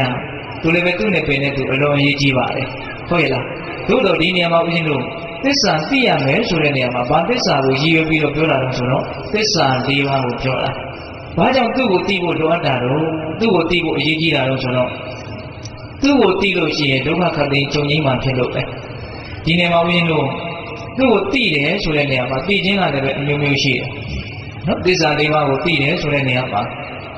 ဝင်းတို့အနုဘောဓသိမှန်းဆပြီးတော့သိတာနောက်သူတော်ကပြောလို့ရေးထားတဲ့စာကိုဖတ်ရလို့ပြီးတော့ဆင်ញင်ပြီးတော့မှန်းဆပြီးတော့သိတဲ့အတိမျိုးကိုဒါအနုဘောဓသိလို့ခေါ်တယ်နောက်ဦးဇင်းတို့ဝိပဿနာတရားကိုကြိုးစားအထောက်လို့ဘဝရဲ့ကြောင့်ခန္ဓာရဲ့ကြောင့်ကိုအမှန်တိုင်းသိအောင်ကြိုးစားအထောက်လို့ဒီသစ္စာဆိုင်အောင် ဉာဏ်အမြင်လေးဆင်ကျင်းလာပြီဆိုတဲ့အခါမှာသစ္စာလေးပါးကိုပฏิဝေဒသိနဲ့သိတယ်လို့ဆိုတယ်အဲ့ဒီပฏิဝေဒသိကတော့သူကဟိုမဲ့ညာဖို့ညာကိုရလို့ဒီမဲ့ညာဖို့ညာနဲ့သစ္စာလေးပါးကိုသိတဲ့သဘောဒါကအလုံးမအရှင်းမြင်တဲ့သဘောဒီနေရာမှာဦးဇင်းတို့သစ္စာလေးပါးကိုသိလို့ရှိရင်ဒုက္ခခတ်သိချုပ်ငြိမ်းတယ်ဆိုတာကဒီပฏิဝေဒသိနဲ့သိတာကိုရည်ရွယ်ပြီးတော့ပြောတာဒါပေမဲ့ဒီပฏิဝေဒသိဆိုတာကလည်းပဲ အနုဘောဓသိဆိုတာမှမရှိဘဲနဲ့ဖြစ်နိုင်မှာမလားဖြစ်နိုင်ဘူးဒါကြောင့်ပိဋကပေါင်းတော်တို့သစ္စာတရားနဲ့ပတ်သက်ပြီးတော့အများကြီးကြားဖို့နာဝရှိအောင်ကြည်ကြည်ပြည့်ပြည့်သိအောင်တနည်းအားဖြင့်အနုဘောဓသိတွေကြီးမားအောင်ကြိုးစားပြီးတော့တိဆောက်ဖို့လိုတယ်ဓမ္မသာနဲ့တစ်ဆင့်ပြီးတစ်ဆင့်တက်ပြီးတော့နောက်ဆုံးပရိဝေဒသိနဲ့ထိုးထွင်းသိပြီးတော့ဒုက္ခကတိငြိမ်းတဲ့အဆင့်ကိုရောက်မယ်ပေါ့။ကိုဦးကြီးတို့ဒီမှာထိုင်ပြီးတော့ပြောနေတယ်ဒီမှာကြီးတွေဒကာကြီးတွေနဲ့ထိုင်ပြီးတော့နားထောင်နေတယ်။ရည်ရွယ်ချက်ကဘာလို့ဆိုတော့ဒီသစ္စာလေးပါးကို အနုဘောဓသိနဲ့သိဖို့လို့အဲ့ဒါနဲ့ပို့ပြီးတော့ကြီးကျယ်တဲ့ရည်ရွယ်ချက်ကဘာလို့ဆိုတော့သူမတစ်ဆင့်တက်ပြီးတော့ပရိဝေဒသိနဲ့ထိုးထွင်းပြီးတော့သိဖို့ဟုတ်လား။ဒါပေမဲ့အခုလုံးလုံးစေကတော့ပရိဝေဒနဲ့သိဖို့ဆိုတာကကိုကိုယ်တိုင်ကြင်ကြံကြုံကိုအထုံးမှာဖြစ်နိုင်တဲ့ကိစ္စခုနားထောင်ရုံညံ့နေတော့ဒါဘုရင်တို့အနုဘောဓသိတော့ပဲရမယ်ပေါ့သို့တော့ဒီအတိဟာလည်းပဲအလွန်တရာမှတန်ဖိုးကြီးတယ်လို့ဆိုရမှာပါမြတ်စွာဘုရားက သစ္စာလေးပါးကိုအနုဘောဓသိနဲ့သိရင်ကိုပဲအလွန်တရာအကျိုးကျေးဇူးများလာပြီဆိုတာနဲ့ပတ်သက်ပြီးတော့ဟောထားတဲ့ဒေသနာတွေအများကြီးရှိတယ်ဟိုဘာပြောထားလို့ဆိုတော့ဦးဇင်းတို့သစ္စာတန်ရုပ်တင်းမှာမိတ္တသုတ်ဆိုပြီးတော့သုတ်တန်လေးတစ်ခုတွေ့ရတယ်ကိုရင်းနှီးတဲ့ချစ်ခင်တဲ့နော်ကိုယ့်ရဲ့ရွှေရင်မျိုးတွေထဲမှာတစုံတယောက်ကိုကိုဟာတနာနဲ့ကျင်လာတယ်သူ့ကိုကောင်းစီခြင်းနဲ့ဆိုလို့ရှိရင်သူကလည်းကိုယ့်ရဲ့ဇာတ်ကိုနားထောင်မယ်လို့ယုံကြည်ရတယ်ဆိုလို့ရှိရင် အဲ့ဒါသစ္စာလေးပါးနဲ့ဆက်တဲ့အကြောင်းကိုသူ့ကိုပြောပြပါတဲ့နော်ဆိုလိုတာကလူတွေကိုတကယ်ချစ်ခင်တယ်ကျင်လာတယ်စိတ်ထဲကအလွန်ကောင်းစီခြင်းနဲ့တနာနဲ့စောင့်ရှောက်လို့လေဆိုလို့ရှိရင်သူကလည်းကိုယ့်ရဲ့ဇာတ်ကိုနားထောင်မယ်ဆိုလို့ရှိရင်ဒါလေးလည်းပါလိမ့်မယ်နော်နားထောင်တယ်လို့ပြောရင်လည်းအကျိုးကမဲ့ငင်နေတာနော်ဘာလို့ပြောရမှာလဲဆိုတော့သစ္စာတရားကိုပြောပါတဲ့သစ္စာစကားကိုပြောပါဒီသစ္စာ၄ပါးနဲ့ပတ်သက်တဲ့အချက်လက်တွေကိုပြောပြပါ ဒါကြောင့်မြတ်စွာဘုရားကဘယ်တော့ဒီဟောတာလဲဆိုလို့ရှိရင်သစ္စာတရားအကျိုးကြီးလို့တွေးမယ်ဆိုရင်လည်းသစ္စာနဲ့ဆက်တဲ့အကျိုးတွေကိုပဲတွေးပါတဲ့ကာမဝိတ္တ၊ညာဝရဝိတ္တ၊ဝိညာဏဝိတ္တလို့ဆိုတဲ့အလွန်တရားရုပ်ရည်နဲ့ပူတော်နဲ့နေကြတဲ့အနေအထားကိုရောက်အောင်တွန်းပို့နိုင်တဲ့ဒီအတွေးတွေကိုမတွေးနိုင်ဘူးပေါ့ဒီအတွေးတွေဟာဦးဇင်းတို့ညီငယ်မှုနဲ့မဆက်ရှင်ဘူးနော်ညီငယ်မှုလည်းမဖြစ်နိုင်ဘူးဆွေးနွေးမှုကင်းမှုလည်းမဖြစ်နိုင်ဘူးမိဘဆန္ဒကိုမပြုဖို့လည်းမဖြစ်နိုင်ဘူး ဒါကြောင့်ဒီကာမဂုဏ်နဲ့ပတ်သက်တဲ့အတွေးမကြည်လည်မှုနဲ့ပတ်သက်တဲ့အတွေးညှင်းဆဲမှုနဲ့ပတ်သက်တဲ့အတွေးလို့ဆိုရတယ်ကာမဝိတ္တ၊ဇဝရဝိတ္တ၊ဝိညာဝိတ္တတွေနဲ့ပတ်သက်ပြီးတော့ဒီအတွေးမျိုးတော့မတွေးနိုင်ဘူးပေါ့မနေနိုင်လို့တွေးမယ်ဆိုရင်တော့သစ္စာလေးပါးနဲ့ဆက်တာကိုတွေးပါဒါအလုံးမအကျိုးရှိတယ်နောက်ဆုံးနိဗ္ဗာန်ဆန္ဒကိုမျက်မှောက်ပြုနိုင်တဲ့ဒီအဆင့်စဉ်အကျိုးကြီးတွေပြုနိုင်တယ်ပေါ့ဒါကြောင့်မြတ်စွာဘုရားတွေးမယ်ဆိုရင်ဘာကိုတွေးရလဲသစ္စာကိုတွေးရတယ် နောက်ပြီးတော့ပြောမယ်ဆိုရင်လည်းသစ္စာနဲ့ဆက်တာကိုပြောပါပြောကြစကားတွေကတော့အမျိုးမျိုးရှိတာပဲတရားတော်ဘုရားရဲ့နှုတ်ကလည်းပဲတံများသောအဖြစ်ထွက်နေတဲ့စကားလုံးတွေကိုအကုန်လုံးတန်ဖိုးချင်းတွေ့ပြီးတော့ကြည့်မယ်ဆိုရင်တန်ဖိုးကိုချိန်ထိုးပြီးတော့နှိုင်းရှင်ပြီးတော့ကြည့်မယ်ဆိုရင်များသောအဖြစ်တော့တန်ဖိုးမရှိတာလေဒီထွက်ကြတာများပါတယ်ဟုတ်လားဒါကြောင့်မြတ်စွာဘုရားကပြောမယ်ဆိုလို့ရှိရင်လည်းသစ္စာလေးပါးနဲ့ဆက်တဲ့စကားကပြောပါ အဲကြောင့်သစ္စာလေးပါးနဲ့ပတ်သက်ပြီးတော့အလွန်တရာအရေးကြီးတယ်ဆိုတဲ့အတိတ်ပဲသိဖို့အလွန်အရေးကြီးတယ်ဆိုတဲ့အတိတ်ပဲဘာကြောင့်လဲဆိုတော့သိရင်အလွန်အကျိုးကြီးပြီးတော့မသိရင်အလွန်တရာဆင်းရဲဒုက္ခကြီးနိုင်လို့ဒီနေရာမှာမြတ်စွာဘုရားကဟောသစ္စာလေးပါးသိခြင်းနဲ့ပတ်သက်ပြီးတော့စေတာလို့တဲ့ဟောသစ္စာလေးပါးကိုမသိဘဲနဲ့ဒုက္ခချုပ်တယ်ဆိုတာဘယ်တော့မှမရှိဘူးတဲ့ နော်သစ္စာလေးပါးကိုမသိဘဲနဲ့ဒုက္ခချုပ်တယ်ဆိုတာဘယ်တော့မှမရှိဘူးဥမာအားဖြင့်ဟိုရှစ်ရှားရွက်တို့ဦးဇင်းတို့ဟိုဇီးယူရွက်တို့ရွက်ကလေးတွေတိတိလေးတွေမကြီးရွက်တို့လိုအရွက်လေးတွေရှိတယ်အဲ့ဒီအရွက်နဲ့ရေထုတ်လို့ရတယ်ဟာအဲ့ဒီအရွက်ကိုလိပ်ပြီးတော့၎င်းပန်လို့ရတယ်ဟုတ်လားအဲ့လိုမျိုးဆိုရင်ဒါယုံကြည်ကြရမရှိဘူးတဲ့ဟောဆိုအရွက်ကလေးကတိတိလေးဆိုတော့သူ့ကိုရေထုတ်လို့မဒါဒီဒီ ရှစ်ရှားရွက်နဲ့ထုတ်ပြီးတော့တောက်ရတဲ့ရေဆိုတာဘယ်လိုမှရှိကြရအောင်မရှိဘူးအဲ့လိုပဲသစ္စာလေးပါးကိုမသိလဲနဲ့ဒုက္ခငြိမ်းရဆိုတာမရှိဘူး။ဒါနဲ့တော့ဘုရားဦးဇင်းတို့ပြည့်တဲ့တစ်ခုမှာဟောထားတယ်။နောက်ပြီးတော့သစ္စာလေးပါးကိုမသိလဲနဲ့ဒုက္ခငြိမ်းနေလို့တကယ်လို့ပြောခဲ့မယ်ဆိုလို့ရှိရင်သူ့ရဲ့တရားဟာဘာမှယုတ်တိမရှိဘူးပေါ့။ဥပမာဟိုပြက်သက်ဆောက်တဲ့လူတွေက တိုင်းတစ်လုံးမှမထောင်ဘဲနဲ့တိုင်းတစ်လုံးမှမထူဘဲနဲ့အောက်ပိုင်းကဘာတိုင်းမှမပါဘဲနဲ့အပေါ်ပိုင်းကအဆောင်ကိုတို့လုပ်နေတယ်လို့ပြောရင်ဒါယုံကြည်ရမရှိတယ်လို့ပဲ။ဒါနဲ့တော့ဘယ်ဟောတာ။ဒါကြောင့်သစ္စာလေးပါးကိုမသိဘဲနဲ့ဒုက္ခချုပ်တယ်ဆိုတာလောကကြီးမှာမရှိဘူး။သစ္စာလေးပါးကိုသိမှသာလေဒုက္ခဆိုတာငြိမ်းနေတာ။ဒါနဲ့အဲ့လောက်အရေးကြီးတဲ့သစ္စာတရားဆိုတာဘာလို့ဒကာမတို့ရဲ့ခေါင်းထဲမှာလည်းပဲအကျဉ်းချင်းတော့မှတ်သားမိတာရှိမယ်လို့ဦးဇင်းတို့ထင်ပါတယ်။ နောက်ပထမအရိယသစ္စာကဘာလို့လို့မေးရင်ဒုက္ခသစ္စာဒုက္ခသစ္စာဆိုတာဘာကိုပြောတာတော့ဆိုတော့အကျဉ်းချင်းအကျဉ်းချုပ်ပြောရရင်တော့ဒီခန္ဓာကိုယ်ကြီးကိုပြောတာပါ။ဒုက္ခသစ္စာဆိုတာဒီခန္ဓာကိုယ်ကြီးကိုပြောတာ။ဒီခန္ဓာဒီတကယ်စင်စစ်ဒီခန္ဓာမမဟုတ်ပါဘူးဘုသူခန္ဓာပဲဖြစ်ဖြစ်ဘယ်ခန္ဓာပဲဖြစ်ဖြစ်ဘယ်ဘဝပဲဖြစ်ဖြစ်ဘာလဲလို့မေးရင်ဒုက္ခသစ္စာနော်ချမ်းသာလားဆိုလို့ဘာမှမရောဘူးလို့ဆိုတယ်ဟုတ်လား ဒီနေမှာဦးဇင်းတို့ပြည်သက်ပေါင်းတော်ပေါင်းတို့ဟိုချမ်းသာဆိုတဲ့အသုံးအနှုန်းလေးသုံးနှုန်းထားတာရှိတယ်ဘဝနဲ့ပတ်သက်ပြီးတော့ဘယ်နေရာမှာသုံးနှုန်းထားတာတွေ့တော့ဒုက္ခဝေဒနာသုံးနှုန်းထားတာမတွေ့ဘူးလားနော်ဒုက္ခဝေဒနာဆိုတာဘာလဲချမ်းသာတဲ့ခံစားချက်ကလေးပေါ့ဘဝဟာဒုက္ခလို့ဆိုလို့ရှိရင်အဲ့ဒီချမ်းသာတဲ့ခံစားချက်ကလေးကိုကြတော့ဘယ်လိုပြောမလဲစဉ်းစားရမရှိဘူးလားရှင်နော်ဒီနေရာမှာဦးဇင်းတို့ဒုက္ခနဲ့ပတ်သက်ပြီးတော့မြတ်စွာဘုရားက၃မျိုးလောက်ဟောထားတာရှိတယ် ဒုက္ခဒုက္ခတဲ့နော်ဒုက္ခဒုက္ခဆိုတာကဆင်းရဲလို့ကိုဆင်းရဲတာအဲ့ဒါကဘာကိုပြောတာလဲဆိုတော့ဒုက္ခဝေဒနာတွေကိုပြောတာနော်ခံရခက်တဲ့ငရုပ်ပိုင်းဆိုင်ရာခံရခက်တဲ့ဝေဒနာစိတ်ပိုင်းဆိုင်ရာခံရခက်တဲ့ဝေဒနာနောက်ဒုက္ခဝေဒနာဒေါမနတဝေဒနာဒါတွေကဘာလို့လို့မေးရင်ဒုက္ခဒုက္ခနောက်ဦးဇင်းတို့သင်္ခါရဒုက္ခလို့ရှိသေးတယ်သင်္ခါရဒုက္ခဆိုတာကဟို ဥပိ္ပခာဝေဒနာအစရှိတဲ့ဒီသင်္ခါရတရားတွေကိုဒါသင်္ခါရဒုက္ခလို့ခေါ်နော်ဘုန်းကြီးတို့နောက်ထပ်ဒုက္ခတစ်မျိုးရှိသေးတယ်အဲ့ဒါဘာလို့ဆိုတော့ဝိပရိနာမဒုက္ခဝိပရိနာမဒုက္ခဆိုတာကဖောက်ပြန်ပျက်စီးတဲ့လို့သူ့ကိုဒုက္ခလို့ခေါ်တာအဲ့ဒီဖောက်ပြန်ပျက်စီးတဲ့လို့ဒုက္ခလို့ခေါ်တဲ့ဒုက္ခဘာကိုပြောတာလဲဆိုတော့အဲ့ဒီဒုက္ခဝေဒနာကိုပြောတာတဲ့ဟုတ်လားဆိုလိုတာကဒုက္ခဝေဒနာဟာလည်းပဲဖောက်ပြန်ပျက်စီးတတ်တဲ့အတွက်ကြောင့်သူလည်းပဲဒုက္ခတွေကိုအကျုံးဝင်ရတယ် အကောင်းမဟုတ်ဘူးပေါ့အဲ့တော့ဆိုလိုတာကတကယ်တမ်းအရိယဉာဏ်အမြင်နဲ့ကြည့်မယ်ဆိုလို့ရှိရင်ဘဝမှန်သမျှခန္ဓာမှန်သမျှဒီဘာလဲလို့မေးရင်ဒုက္ခမြတ်တာဖြစ်တယ်ဆင်းရဲခြင်းတရားမြတ်တာဖြစ်တယ်ဒါဥစဉ်တော့ပထမအမှန်တရားပဲနော်ဘယ်အချိန်ဘယ်ကာလမှာဖြစ်တဲ့ခန္ဓာမျိုးမဆိုဒုက္ခအခုမှဖြစ်တဲ့ခန္ဓာဟာဒုက္ခမဟုတ်ဘူးဘုရားဖြစ်တဲ့ခန္ဓာလည်းဒုက္ခပဲနောက်ဖြစ်မဲ့ခန္ဓာလည်းဒုက္ခပဲနော်သူ့တဏ္ဍာမှာဖြစ်တဲ့ခန္ဓာကဒုက္ခမဟုတ်ဘူးကိုယ်တဏ္ဍာမှာဖြစ်တဲ့ခန္ဓာကလည်းဒုက္ခပဲ ဒါကြောင့်အချိန်မရွေးနေရာမရွေးကာလမရွေးမှန်နေတော့နော်ဒုက္ခသစ္စာနောက်ဦးဇင်းတို့ဒုတိယဘာသစ္စာသမုဒိယသစ္စာသမုဒိယသစ္စာဆိုတာကိုဦးဇင်းတို့အကျေပြောရရင်ဒုက္ခသမုဒိယသစ္စာနော်ဒုက္ခဖြစ်ခြင်းရဲ့အကြောင်းတရားအမှန်ပေါ့ဒုက္ခဖြစ်ခြင်းရဲ့အကြောင်းတရားအမှန်ကဘာလို့ဆိုတော့လောဘကိုပြောတာ ဆိုလိုတာက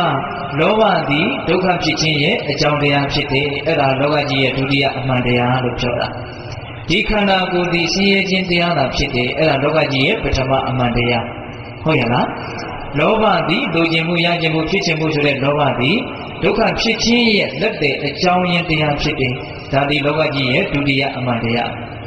ဒါလည်းပဲသူကအချိန်တိုင်းမှန်တယ်နေရာတိုင်းမှမှန်တယ်ပုဂ္ဂိုလ်တိုင်းအတွက်မှန်တယ်ဟုတ်လား အခုမှဖြစ်တဲ့လောဘဒီဒုက္ခကိုဖြစ်စေတာမဟုတ်ဘူးကိုယ်တော့မှဖြစ်ခဲ့တဲ့လောဘဟာလည်းဒုက္ခကိုဖြစ်စေမှာပါနောက်မှဖြစ်မဲ့လောဘဟာလည်းဒုက္ခကိုဖြစ်စေအောင်ပါကိုယ်တန်တမှာဖြစ်တဲ့လောဘကလည်းဒုက္ခကိုဖြစ်စေတာမဟုတ်ဘူးသူတန်တမှာဖြစ်တဲ့လောဘကလည်းဒုက္ခကိုဖြစ်စေတာဘယ်လောဘပဲဖြစ်ဖြစ်ဒုက္ခကိုဖြစ်စေတယ်ဆိုတာဘယ်တော့မှမချွတ်ယွင်းဘူးမဖောက်ပြန်ဘူးအမြဲတမ်းမှန်တယ်ဒါကြောင့်သူဒီလောဘကြီးရဲ့ဒုတိယအမှန်တရားနောက်ဦးဇင်းတို့တတိယဘာသစ္စာនិရောဓသစ္စာ အကျဉ်ပြောရရင်ဒုက္ခនិရောဓသစ္စာនិရောဓဆိုတာချုပ်ငြိမ်းတာဒုက္ခဆိုတာဆင်းရဲတာဒုက္ခချုပ်တဲ့သဘောတဘာဝအဲ့ဒါဘာကိုပြောတာလဲဆိုတော့နိဗ္ဗာန်ချမ်းသာကိုပြောတာတဲ့အဲ့ဒီဒုက္ခនិရောဓဆိုတဲ့နိဗ္ဗာန်ချမ်းသာဆိုတာကဘာကိုပြောတာလဲဆိုတော့နော်တဏှခိယနဝိရာကနော်တဏှာကုန်တဲ့သဘောလောဘမရှိတဲ့သဘောကိုဒါနိဗ္ဗာန်လို့ပြောတာတဲ့ဟုတ်လားဆိုလိုတာကနိဗ္ဗာန်ဆိုတာချမ်းသာခြင်းချမ်းသာမှာပေါ့ နော်နိဗ္ဗာန်ဆိုတာချမ်းသာတဲ့ချမ်းသာမှာဆိုရင်ဘယ်တရားကိုနိဗ္ဗာန်လို့ပြောတာတော့ဆိုတော့လောဘကုန်ရာကိုဒါနိဗ္ဗာန်လို့ပြောတာတဲ့ဒါတော်တော်စဉ်းစားကြရကောင်းတယ်တော့တရားဓမ္မတို့ဦးဇင်းတို့အပေါ်ယံနေကိုစဉ်းစားကြည့်ဟောလောဘမရှိရင်ဒါချမ်းသာတဲ့ချမ်းသာမှာလို့ဆိုလို့ရမရဘူးလားဟုတ်တယ်ဒီနေ့မှာဦးဇင်းတို့လောဘချုပ်ဖို့လောဘမရှိဖို့ဆိုတာကတော်တော်မလွယ်ပါဘူးဟုတ်လားအဲ့ဒီအရှင်ကြီးကိုမိမိတို့မရောက်သေးတောင်မှဟောလောဘမရှိရင်ချမ်းသာတယ်ဆိုရင်လောဘနည်းရင်ဒုက္ခနည်းမှာပဲဆိုတာလေးတော့ နားလည်ထားဖို့မလိုဘူးလားအေးလောဘကြီးရင်ဒုက္ခကြီးမှာပဲလောဘနည်းရင်ဒုက္ခနည်းမှာပဲဟုတ်လားဒါကြောင့်လောဘရှိရှိတဲ့လောက်ဒုက္ခရှိတယ်လောဘမရှိရင်မရှိတဲ့လောက်ဒုက္ခမရှိဘူးနော်ဒါကြောင့်မိသားပေါင်းတော်ကောင်းတို့တတ္တိယនិရောဓသစ္စာနောက်တဏှာမရှိတဲ့တဏှာချုပ်တဲ့သဘောဟုတ်လားဒါပါတော့និရောဓသစ္စာဒါအမှန်တရားပဲနော်နောက်ပြီးတော့ဦးဇင်းတို့ဗါလဲတော့မေဃသစ္စာ မေဃသစ္စာကိုဦးဇင်းတို့မြတ်စွာဘုရားကတော့ဒုက္ခនិရောဓဂ ामि နိပရိပဒါယအရိယသစ္စာလို့အကျေတည်းအဲ့လိုပြောတယ်အဓိပ္ပာယ်ကဘာလို့ဆိုတော့ဒုက္ခချုပ်ရာနိဗ္ဗာန်ကိုရောက်စေတတ်တဲ့တခုတည်းသောအကျင့်တရားပေါ့ဟုတ်လားဒီဒါကိုဦးဇင်းတို့အတူချုပ်ပြောလိုက်တော့မေဃသစ္စာမေဃဆိုတာလမ်းပေါ့ဆိုလိုတာကဒီလမ်းကိုရှောက်လို့ရှိရင်ဒီပန်းနိုင်ကိုရောက်မယ်ပေါ့အဲရန်ကုန်ကိုရောက်စေတဲ့လမ်းကိုရှောက်မယ်ဆိုရင်ရန်ကုန်ကိုရောက်သွားမယ်ပေါ့ အဲ့လိုပဲမဂ္ဂင်၈ပါးလမ်းကိုရှောက်လို့ရှိရင်နိဗ္ဗာန်ချမ်းသာကိုမျက်မှောက်ပြုရတယ်ပေါ့အဲ့တော့ဦးဇင်းတို့ဒီနေရာမှာသစ္စာလေးပါးနဲ့ပတ်သက်ပြီးတော့ပြောကြတဲ့ခုရှိတာကလောဘနဲ့ဒုက္ခဆိုတာကဟိုသမုဒိယနဲ့ဒုက္ခဆိုတာကသူကအကြောင်းအကျိုးသဘောဖြစ်တယ်နော်အကြောင်းအကျိုးသဘောနော်လောဘကြောင့်ဒုက္ခဖြစ်တယ်ဒီမဂ္ဂသစ္စာနဲ့និရောဓသစ္စာကသူကအကြောင်းအကျိုးသဘောမဟုတ်ဟုတ်လား နိဗ္ဗာန်ဟာမဂ္ဂင်၈ပါးကြောင့်ဖြစ်လာတာမဟုတ်ဘူးနိဗ္ဗာန်ကသူ့အတူရှိပြီးသားနော်နိဗ္ဗာန်ဟာမဂ္ဂင်၈ပါးကြောင့်ဖြစ်လာတာမဟုတ်ဘူးဒါနဲ့ဘယ်လိုဆက်ဆက်မှုရှိတာလဲဆိုတော့မဂ္ဂင်၈ပါးကိုပွားများရင်တော့နိဗ္ဗာန်ချမ်းသာကိုမျက်မှောက်ပြုရလိမ့်မယ်ဆိုရပါစို့ဦးဇင်းတို့နေပြည်တော်လိုင်းကြီးတိုင်သွားလိုက်မယ်ဆိုလို့ရှိရင်ဒါရန်ကုန်ကိုရောက်မသွားဘူးလားရောက်ပါတယ်အဲ့ဒီရန်ကုန်မြို့ကြီးဟာဒီလမ်းကြောင့်ဖြစ်လာတာလို့ဆိုနိုင်သလား မဆိုနိုင်ဘူးသို့တော့ဒီလမ်းတိုင်သွားမယ်ဆိုရင်တော့အဲ့ဒီရန်ကုန်ကိုမရောက်ပြီဘူးလားရောက်တယ်အဲ့လိုပဲနိဗ္ဗာန်ဆိုတာမဂ္ဂင်၈ပါးကြောင့်ဖြစ်လာတာမဟုတ်ဘူးသို့တော့မဂ္ဂင်၈ပါးကိုပွားများမယ်ကြိုးစားမယ်အထောက်မယ်ဆိုရင်တော့အဲ့ဒီငြိမ်းချမ်းရာအရှိနိဗ္ဗာန်ကိုမျက်မှောက်ပြုနိုင်တယ်သိနိုင်တယ်မြင်နိုင်တယ်ပေါ့ဟုတ်လားအဲ့လိုနိဗ္ဗာန်ရောက်ကြောင်းတရားဒုက္ခချုပ်ကြောင်းတရားဖြစ်တယ်တဲ့မဂ္ဂင်၈ပါးကြီးဒါအမြဲတမ်းမှန်တယ်ဘုလုံးကမဂ္ဂင်၈ပါးကိုပွားလို့နိဗ္ဗာန်ရောက်တယ်အခုမဂ္ဂင်၈ပါးကိုပွားရင်နိဗ္ဗာန်မရောက်ဘူးလို့ဒီလိုမရှိဘူး ဟုတ်လားမဂ္ဂင်၈ပါးကိုပွားများမယ်ဆိုရင်ဘယ်ချိန်ပဲပွားပွားဘယ်သူပဲပွားပွားဟုတ်လားမဂ္ဂင်၈ပါးကိုပွားများရင်ဘယ်သူပဲပွားပွားအဲ့ဒီပုဂ္ဂိုလ်နိဗ္ဗာန်ချမ်းသာကိုမျက်မှောက်ပြုနိုင်ကြအကြောင်းအခွင့်အလမ်းရှိတယ်ဟုတ်ရဲ့လားဟေးဒါကြောင့်ပိဋကပေါင်းတော်ကောင်းတို့သစ္စာ၄ပါးဆိုတာဘာလဲအကျဉ်းများဖြင့်အဲ့တော့တော့နားလည်ထားမှာနော်ခန္ဓာမှန်သမျှဘဝမှန်သမျှဘု து ခန္ဓာဘု து ဘဝပဲဖြစ်ဖြစ်တကယ်တမ်းကတော့ဆင်းရဲခြင်းတရားသာဖြစ်တယ်ပထမလောကကြီးရဲ့အမှန်တရား လူကျင်မှုရကျင်မှုလောဘမှန်သမျှဒုက္ခဖြစ်ခြင်းရဲ့အကြောင်းတရားသာဖြစ်တယ်လောကကြီးရဲ့ဒုတိယအမှန်တရားဟုတ်လားလောဘချုပ်ခြင်းသည်နိဗ္ဗာန်တရားဖြစ်တယ်နောက်ချမ်းသာတဲ့ချမ်းသာမှဖြစ်တယ်လောဘမရှိခြင်းတဏှာချုပ်ခြင်းဟုတ်ရဲ့နော်ဒီအဲ့ဒီဒုက္ခချုပ်ရနိဗ္ဗာန်ကိုရကျင်တယ်ရောက်ကျင်တယ်မျက်မှောက်ပြုကျင်တယ်ဆိုလို့ရှိရင်မဂ်ကင်၈ပါးကိုပွားများရလိမ့်မယ်မဂ်ကင်၈ပါးအကျင့်မြတ်တရားတွေဒုက္ခချုပ်ရကိုရောက်စီတဲ့တခုတည်းသောလမ်းဖြစ်တယ် မဂ်ကင်၈ပါးကလွယ်လို့တခြားဘယ်လမ်းစဉ်နဲ့မှနိဗ္ဗာန်ချမ်းသာကိုမျက်မှောက်မပြုနိုင်ဘူးဒါဟာအမှန်တရားဖြစ်တယ်ပေါ့ဒါဦးဇင်းတို့လောကကြီးရဲ့အမှန်တရားဘယ်နှမျိုးတော့၄မျိုးသစ္စာသိရမယ်ဆိုတာဒါကိုသိရမယ်လို့ပြောတာဒါဦးဇင်းတို့အနုဘောဓသိတယ်ရှိသေးတယ်ပေါ့နော်အဲ့ဒါဦးဇင်းတို့ပြိဿပေါင်းတော်ကောင်းလို့ဟိုမဂ္ဂင်ရှင်မကိုပွားများလို့သတိပဋ္ဌာန်တရားတွေကိုပွားများလို့ဝိပဿနာတရားတွေကိုပွားများလို့ဉာဏ်ပညာတွေအစစ်စစ်ရင့်ကျက်လာပြီဆိုရင် သစ္စာလေးပါးကိုပฏิဝေဒအရှင်းထွတ်ထွင်းပြီးတော့သိတဲ့အဆင့်ကိုမရောက်နိုင်ဘူးလားရောက်နိုင်တယ်ရောက်နိုင်တယ်အဲ့တော့ဦးဇင်းတို့ဒီနေရာမှာဆက်ပြီးတော့ဗာပြောချင်လို့ဆိုတော့သစ္စာတရားဟာသိဖို့ဘယ်လောက်အရေးကြီးတော့သစ္စာတရားကိုသိတော့ဘယ်လိုအကျိုးကျေးဇူးတွေရှိမှတော့ဆိုတာလေးနဲ့ပတ်သက်ပြီးတော့ဟုတ်လားသစ္စာတရားကိုမသိသေးတဲ့ညတော့ဒကာတော်တို့ဦးဇင်းတို့တွေဟာဒီတန်တရားထဲမှာဗယံပဒဖြစ်ချင်တဲ့လို့ကိုဖြစ်နေအောင်ပါဟုတ်လားမြတ်စွာဘုရားကဟိုတန်တဆိုတဲ့တုတ်တံမှာဘယ်လိုဟောတာတော့ဆိုလို့ရှိရင် ဒုတ်တစ်ချောင်းကိုကောင်းငင်ကိုမြောက်ပစ်လိုက်မယ်ဆိုလို့ရှိရင်အဲ့ဒီတော့အောက်ပြန်ကျလာတဲ့အခါမှာအရင်ကလည်းကြကျင်ကြမယ်အဖျားကလည်းကြကျင်ကြပဲကြားကျင်တယ်လို့ကြားပါနိုင်တယ်ဟုတ်တယ်မဟုတ်လားအဲ့လိုပဲဒကာတော်တို့ဦးဇင်းတို့တွေဟာနော်အဝိဇ္ဇာတရားနဲ့ပိတ်ကာထားတဲ့အတွက်ကြောင့်ဟောတဏှာတရားနဲ့အမြဲတမ်းချီနှောင်ထားတဲ့အတွက်ကြောင့်မြတ်စွာဘုရားသုံးလုံးထားတာအဝိဇ္ဇာနဲ့ပိတ်ဆို့ထားသောတဏှာဖြစ်ချီနှောင်ထားသောတတ္တဝါတွေအား ဒီတန်လျာကြီးထဲမှာဖြစ်ချင်တယ်လို့ဖြစ်သွားနိုင်တယ်ဒီလောကကလည်းဟိုလောကကိုရောက်သွားနိုင်တယ်ဟိုလောကကလည်းဒီလောကကိုရောက်လာနိုင်တယ်ရုပ်ညံတဲ့ဘဝကလည်းမြင့်မြတ်တဲ့ဘဝကိုရောက်နိုင်တယ်မြင့်မြတ်တဲ့ဘဝကလည်းရုပ်ညံတဲ့ဘဝကိုရောက်သွားနိုင်တယ်ဘယံပဒဖြစ်ချင်တယ်လို့ဖြစ်သွားနိုင်တယ်ဘာကြောင့်လဲဆိုရင်သစ္စာလေးပါးအမှန်တရားကိုမသိသေးလို့ဟုတ်ရဲ့လားသစ္စာတရားကိုသိမှတကယ်ချမ်းသာတဲ့ချမ်းသာမှာကိုရမယ်ဆိုတဲ့အသေးပဲနောက်ပြီးတော့မြတ်စွာဘုရားဟောထားတဲ့ဥယျာဉ်တို့အိဋ္ဌခီလာသုတ်တံဆိုတာလေးလည်းစိတ်ဝင်စားနေကောင်းတယ် အဲ့ဒီမှာဘယ်လိုဟောထားလို့ဆိုတော့သစ္စာလေးပါးကိုမသိကြသေးတဲ့ပုထုဇဉ်တွေအတွက်ဖြစ်ရဘဝတိုင်းဘဝတိုင်းမှာသူတော်ရဲ့မျက်နှာကိုဒီလူကတော့ဒီအရှင်ကတော့တိတဲ့တိလိုက်တာကိုတိအောင်တကားဆိုပြီးတော့မော့မော့ကြည့်ရတဲ့အနေအထားမှာရှိတယ်တဲ့နော်သစ္စာလေးပါးကိုမသိသေးသေး၍ဒကာမတို့ဦးဇင်းတွေတွေဟာကျင်လျာဘဝတိုင်းဘဝတိုင်းမှာ ဟောဒီလူကတော့ဟောဒီပုဂ္ဂိုလ်ကတော့တော်တော်ကိုတိပုံရတယ်ဆိုပြီးတော့သူများရဲ့မျက်နှာကိုကိုကအောက်ကနေပြီးတော့မော့မော့ကြည့်ရတဲ့အနေအထားမှာရှိတယ်တဲ့ဟုတ်လားဘာလို့လဲဆိုတော့ကိုကတိတိတိလိုက်တာကိုမသိသေးဘူးဘလောကကြီးကဘာဆိုတာကိုတိတိကျကျခါခါနန်းနာမှန်မှန်ကန်ကန်မသိသေးဘူးကိုကမသိသေးတော့သူများကိုသိတယ်ထင်ပြီးတော့နော်ကိုကအောက်ကျတဲ့အနေအထားမှာရှိရတယ်ပေါ့ဟုတ်လားအဲ့ဒါဦးဇင်းတို့ဘာနဲ့တူလဲဆိုလို့ရှိရင်ဟို ဝါခေါင်းလေးတစ်ခုကိုမြည်ကြီးရမှာချထားတယ်အဲ့ဒါအရှိလေးကလည်းသူ့ကိုအနောက်ကိုဆောင်းရင်ဆောင်းသွားမှာပဲတဲ့ဟုတ်တာတော့အရှိဘက်ကလေးတက်နေရင်သူ့အနောက်ဘက်ကိုလွှင့်သွားတယ်တောင်လေးကလည်းသူ့ကိုမြောက်ဘက်ကိုဆောင်းရင်ဆောင်းသွားတယ်နော်တိုက်ချင်တဲ့လေကတိုက်ချင်တဲ့ဘက်ကတိုက်ပြီးတော့ဆောင်းကျင်တဲ့နေရာကိုသူ့ကိုဆောင်းသွင်းမယ်သူ့ဟာဟိုထောက်ရတေရခိုင်မြဲတဲ့ရက်တည်မှုသူ့မှာဘာမှမရှိအလွန်တရာပေါ့တွတ်တဲ့အနေအထားမှာသူရှိနေသေးတယ်ဟုတ်လားဒါဝါခေါင်းတစ်ခုရဲ့အဖြစ်ပေါ့ သစ္စာလေးပါးကိုမသိသေးတဲ့ပုရုဇဉ်တွေရဲ့ဖြစ်ဟာဒီဝါခေါင်းနဲ့တူတယ်ဆိုတဲ့အသေးပဲပါပဲအကယ်၍သာသစ္စာလေးပါးအမှန်တရားကိုသိမယ်ဆိုလို့ရှိရင်ဟိုမြေဝအလွန်နဲ့အောင်စိုက်ထားတဲ့တရားတိုင်းတစ်ခုရှိတယ်ဘုရားတို့တရားတိုင်းနေမြို့ရိုးကြီးတွေရဲ့တရားတိုင်းနေစိုက်ပြီဆိုလို့ရှိရင်အပေါ်မှာရှစ်တောင်ပေါ်ထားတယ်အောက်မှာလည်းရှစ်တောင်နဲ့အောင်တူးပြီးတော့စိုက်ထားတယ်။ဒါ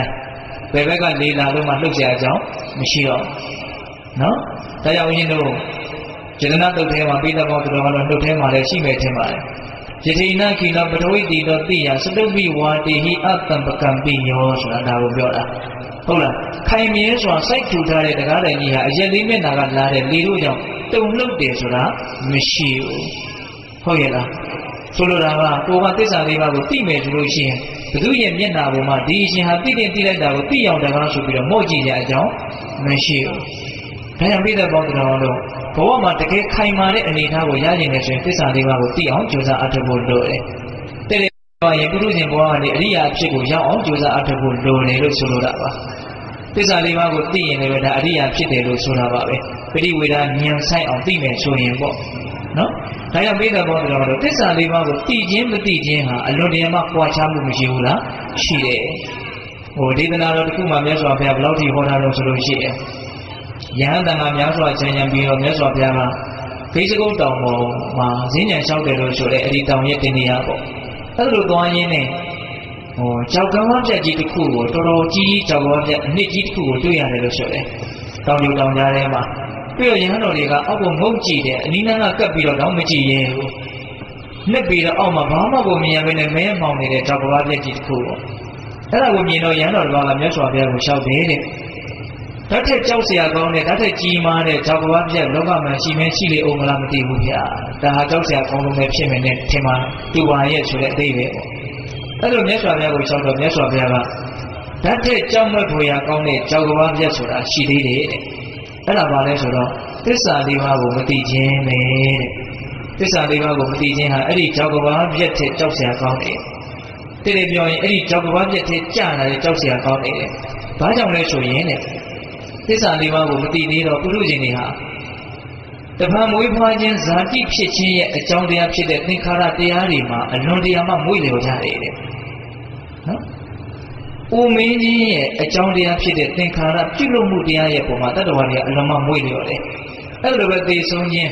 သောကပရိဒီဝဒုက္ခဒေါမနတာဥပါယတာဖြစ်ခြင်းရဲ့အကြောင်းတရားဖြစ်တဲ့သင်္ခါရပြုလုပ်ခြင်းတရားရဲ့အပေါ်မှာတတ္တဝါတွေကအလွန်တရာမှမွေ့လျော်ကြတယ်။မွေ့လျော်တော့ဘာဖြစ်တုံဆိုတော့ အဲ့ဒီတပံမွေးဖွားခြင်း၊အိုခြင်း၊နာခြင်း၊သေခြင်း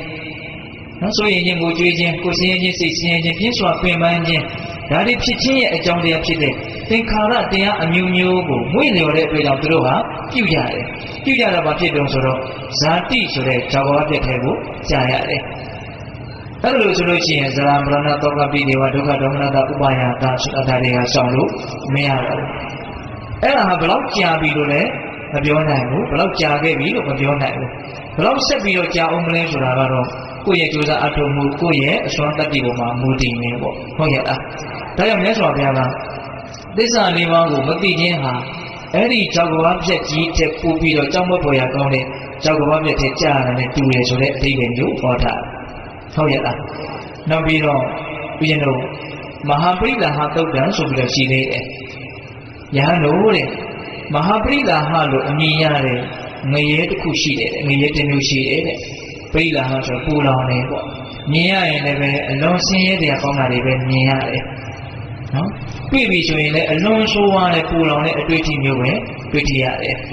အလွန်တရားမှပူလောင်တဲ့ပင်ပန်းတဲ့ငရဲပေါ့ဒီအဲ့ဒီမဟာပရိလာဟငရဲတဲ့ပူလောင်တာရှိတယ်တဲ့အဲ့ဒါဘာလို့ဆိုတော့သစ္စာလေးပါးကိုမသိခြင်းပဲတဲ့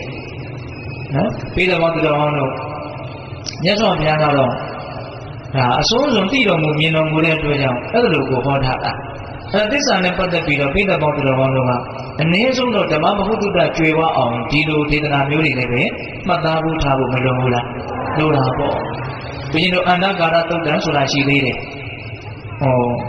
လောကန္တရိငရဲဆိုတာရှိတယ်တဲ့ဘုရင်တို့စัจ java လာသုံးခုရဲ့အဆုံးသဘောမျိုးပေါ့နေရောင်လာရောင်သူ့နေအောင်မရောက်နိုင်အလွန်တရာမှအေးခဲပြီးတော့ နော်သူကမှောင်မဲပြီးတော့မှောင်အတိပေါ့ဘာမှသူကမြင်ရတယ်လို့မရှိဘူးအဲ့ဒီမှာကြားတဲ့ငရဲသားတွေဟာသူတယောက်တစ်ပေါင်းတစ်ပေါင်းကိုအတန်ကြားတာနဲ့သူကအစာချင်းပြီးတော့ဖတ်တယ်လို့ဆိုတယ်အလွန်တရာမှဆင်းရဲတဲ့ပင်ပန်းတဲ့ငရဲတစ်မျိုးပေါ့နော်နေရောင်လာရောင်ဘာမှမရှိဘူးအမြဲတမ်းသာဝရမှောင်ပိတ်နေတဲ့အမှောင်ကြီးပေါ့အဲ့ဒီအမှောင်ထက်ကြောက်မက်ဖွယ်ရကောင်းတဲ့အမှောင်ရှိနေတဲ့အဲ့ဒါဘာလို့ဆိုသစ္စာလေးပါးကိုမသိတဲ့အမှောင်ပဲတဲ့ ဟုတ်လားဒါကြောင့်မိသားပေါင်းသူတော်ကောင်းတို့သစ္စာလေးပါးကိုသိဖို့အတွက်မြတ်စွာဘုရားဟာဘယ်လောက်ထိလိုလားတော်မူတယ်ဆိုတာကတော့ဒီလိုဒေသနာတွေကိုထောက်ရှုသွားဖြင့်မသိနိုင်ဘူးလားသိနိုင်တယ်ဒါဥရှင်တို့ပိဋကပေါင်းသူတော်ကောင်းတို့လည်းပဲကြည်ကြည်ပြည့်ပြည့်သိကျင်တယ်ဆိုလို့ရှိရင်မဟာဝကတန်ယုတ်ပါဠိတော်မှာသစ္စာတန်ယုတ်ဆိုပြီးတော့သစ္စာတရားနဲ့ပတ်သက်ပြီးတော့မြတ်စွာဘုရားဟောထားတာတွေကိုစုစုစည်းစည်းဖော်ပြထားတာတွေရှိပါတယ်အဲ့ဒီမှာလေ့လာကြည့်မယ်ဆိုရင်လည်းသိနိုင်တယ်ပေါ့ဟုတ်ရဲ့လား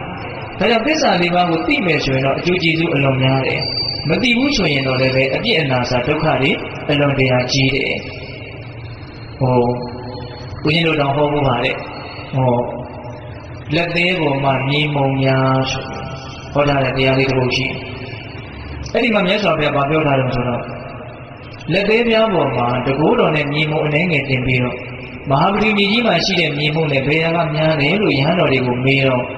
မနိုင်ရှင်တော့အောင်ကြွားချပါတယ်ဘုရားဆိုတော့မြတ်စွာဘုရားကစိတ်သားတို့တဲ့အဲ့ဒီဥပမာတိုင်းပဲ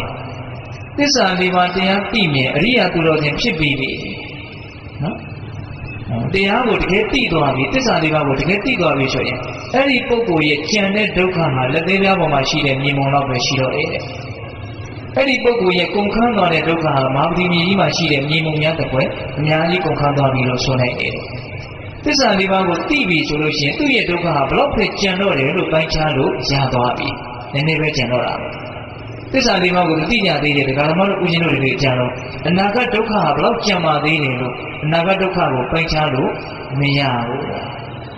ဒါဟာလည်းပဲသစ္စာလေးပါးကိုသိချင်းမသိချင်းရဲ့အလွန်တရာထူးခြားချက်လို့မဆိုနိုင်ဘူးလားဆိုနိုင်တယ်ဟုတ်ရလားဒါကြောင့်လည်းပဲမြတ်စွာဘုရားကသစ္စာလေးပါးကိုသာသိရမယ်ဆိုလို့ရှိရင် မနေ့ခင်းမှာနှံအချက်တရားနေ့လေခင်းမှာနှံအချက်တရားညနေခင်းမှာနှံအချက်တရားအထိုးခံရမယ်အဲ့ဒီပုဂ္ဂိုလ်ကလည်းနှစ်ပေါင်း100အသက်ရှိမယ်ဆိုလိုတာကနှစ်ပေါင်း100နေတိုင်းနေတိုင်းနှံအချက်300အထိုးခံရမှသစ္စာလေးပါးကိုသိမယ်ဆိုရင်ပျော်ပျော်ကြီးအထိုးခံလိုက်တယ်တဲ့မြတ်စွာဘုရားက အဲ့လိုနှစ်ပေါင်း100တရက်ကိုနာချက်300ထိုးခံရလို့သစ္စာလေးပါးကိုသိမယ်ဆိုရင်ဒါကိုစင်မြင်သိရတယ်လို့မဆိုနိုင်ဘူးတဲ့ဒါချမ်းချမ်းသာသာသိရတယ်လို့တောင်ဆိုနိုင်နေတဲ့။ဘာကြောင့်လဲဆိုလို့ရှိရင်သစ္စာလေးပါးကိုမသိဘူးဆိုရင်နောက်မှဆက်ပြီးတော့ဟုတ်လားလှန်ထိုးခံရလို့သိရတဲ့ဘဝပေါင်းဟုတ်လားလေပင်ဖြတ်ခံရလို့သိရတဲ့ဘဝပေါင်းအပေါက်စိန်ပေါက်ခံရလို့သိရတဲ့ဘဝပေါင်းဘလောက်လို့ရည်တွက်လို့မရနိုင်တာနဲ့နှိုင်းစာမယ်ဆိုရင် ဒီအနေထားကအလွန်မင်းကိုကောင်းတယ်ဆိုတဲ့အတိတ်ပဲအဲ့ဒါလောက်သစ္စာလေးပါးကိုသိဖို့မြတ်စွာဘုရားကလိုလားတော်မူတယ်နော်ဒါဥရှင်တို့တတိပဒသုတ်တံဆိုပြီးတော့အဲ့ဒီသစ္စာတန်ယူထဲမှာပဲပါပါတယ်ဟုတ်ရဲ့လားဒီနောက်တစ်ချက်ကသစ္စာလေးပါးကိုသိဖို့ဘလောက်အရေးကြီးကြိုးစားအထောက်တဲ့တယ်ဆိုတဲ့တစ်ချက်ပေါ့အဲ့ဒါကိုကြတော့မြတ်စွာဘုရားကဟိုခေါင်းမှာလောင်နေတဲ့မီးကိုငြိမ့်တတ်တယ်လို့မျိုး ဝိထားတဲ့အဝတ်ကိုလောင်တဲ့မီးကိုငြိမ့်တတ်တယ်လို့မျိုးလို့ဥပမာပေးတယ်စိတ်ကူးလေးနဲ့မိမိကောင်းကဆံပင်ကိုမီးလောင်ကြည့်ပါမိမိဝတ်ထားတဲ့အဝတ်အင်ကြီးကိုမီးလောင်ကြည့်ပါနော်ဘလောက်အရေးကြီးအဲ့ဒီမီးကိုငြိမ့်တတ်မလဲဆိုတဲ့အနေအထားလေးစိတ်ထဲမှာပေါ်အောင်ကြည့်ကျင်တဲ့အလုပ်တွေဘလောက်ပဲအရေးကြီးပါတယ်ပြောပြောအဲ့ဒီအချိန်မှာတော့အဲ့ဒီအလုပ်လောက်ဖေအလုပ်မှအရေးကြီးမှာမဟုတ်ဘူးပေါ့အဲ့လိုပဲ သစ္စာလေးပါးကိုသိဖို့အတွက်အဲ့လောက်အရေးကြီးကြိုးစားအထောက်တဲ့လုံလဝရိယမျိုးနဲ့မြတ်စွာဘုရားကသစ္စာလေးပါးကိုသိအောင်အထောက်ရမယ်လို့အဲ့လိုတိုက်တွန်းတာဒီနေ့မှာဦးဇင်းတို့ပိဿကောင်းတော်အောင်လို့ဒေသနာတော်တွေကိုဟောပြည်ပြည်ဝမှာနားလည်နိုင်ဖို့လက်ခံနိုင်ဖို့ဆိုတာကကိုယ့်ရဲ့ဉာဏ်ပညာပေါ်မှာလည်းပဲအများကြီးမူတည်မယ်လို့ထင်တယ်တယောက်နဲ့တယောက်လက်ခံနိုင်တဲ့ဆွမ်းအားမတူမတူနိုင်ဘူးလို့ဦးဇင်းထင်ပါတယ် ဘာလို့မတူလာတော့ဆိုတယောက်နဲ့တယောက်ပြည့်မြင်နားတယ်ပုံချင်းရှုမြင်ပုံချင်းဉာဏ်ပညာချင်းမတူနိုင်တော့ပဲဟုတ်ရဲ့လားမြတ်စွာဘုရားကတော့အကြီးမားဆုံးဉာဏ်ပညာရှိတဲ့ပုဂ္ဂိုလ်ပြီးပြီးဒါအမှန်ကန်ဆုံးအနေနဲ့ဒါဟောထားတာပဲဒါမဲ့ဒီကဓမ္မတို့ဦးဇင်းတို့တွေကအဲ့လောက်ကြီးလိုက်နာဖို့အဲ့လောက်ကြီးတွေးဖို့ဆိုတာကတော့စိတ်ထဲမှာယခုအနေထားအတိုင်းကတော့မဖြစ်နိုင်သေးဘူးလို့ပဲဆိုရမှာပေါ့နော်။ခေါင်းမှာလောင်နေတဲ့မိကိုငိမ့်တယ်လို့မျိုးဝတ်ထားတဲ့အဝတ်မှာလောင်နေတဲ့မိကိုငိမ့်တယ်လို့မျိုး အဲ့လောက်ကြီးအရေးကြီးအာမထုတ်နိုင်တာကိုထောက်တော့အဖြစ်အဲ့ဒီဒေသနာကိုပြည့်ပြည့်ဝဝကြီး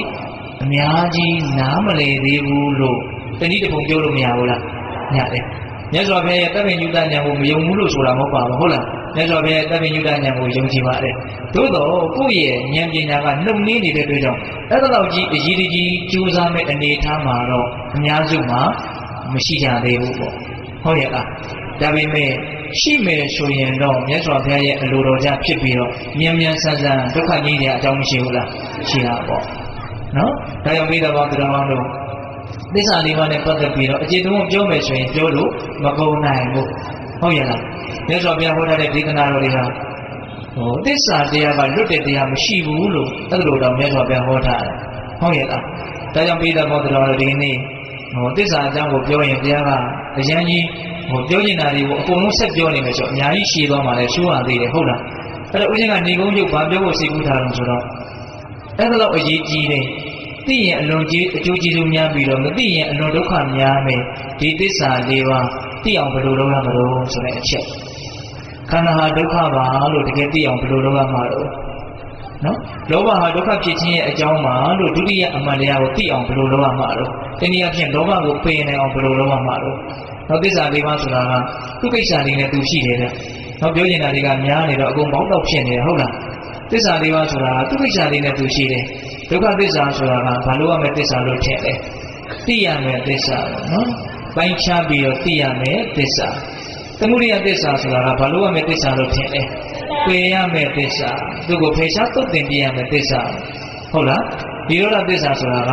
မျက်မှောက်ပြုရမယ့်သစ္စာမျက်မှောက်ပြုအောင်ကြိုးစားရမယ့်သစ္စာ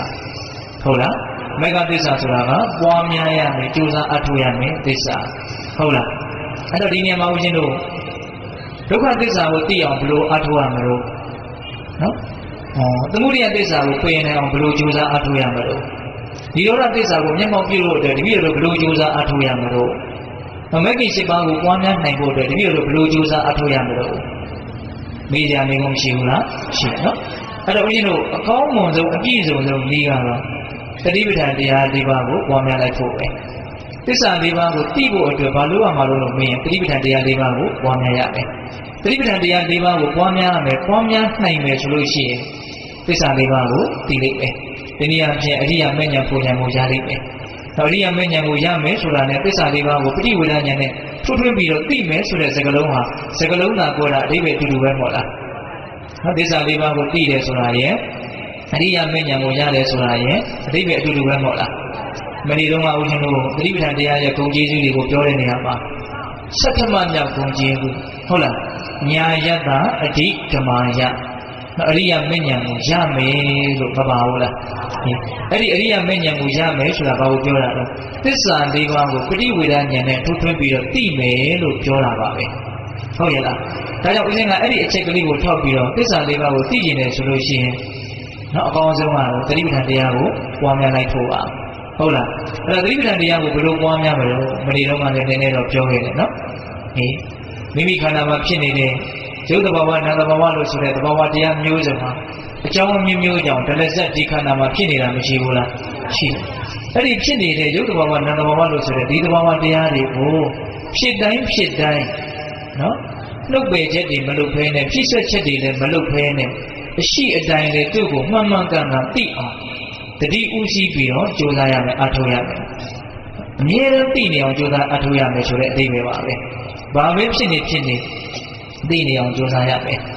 ဟုတ်လားဒီနေရာမှာစိတ်ထဲမှာထင်ရှားတဲ့အာရုံတစ်ခုကတော့အမြဲတမ်းလိုလိုရှိမနေဘူးလားရှိနော်ဘာပဲဖြစ်နေဖြစ်နေဘာမှချွေးချက်မထားဘူးနော်ယုံကြည်ခြင်းဖြစ်မယ်နဲ့ဖြစ်ခြင်းဖြစ်မယ်ကိုသိတဲ့အရာ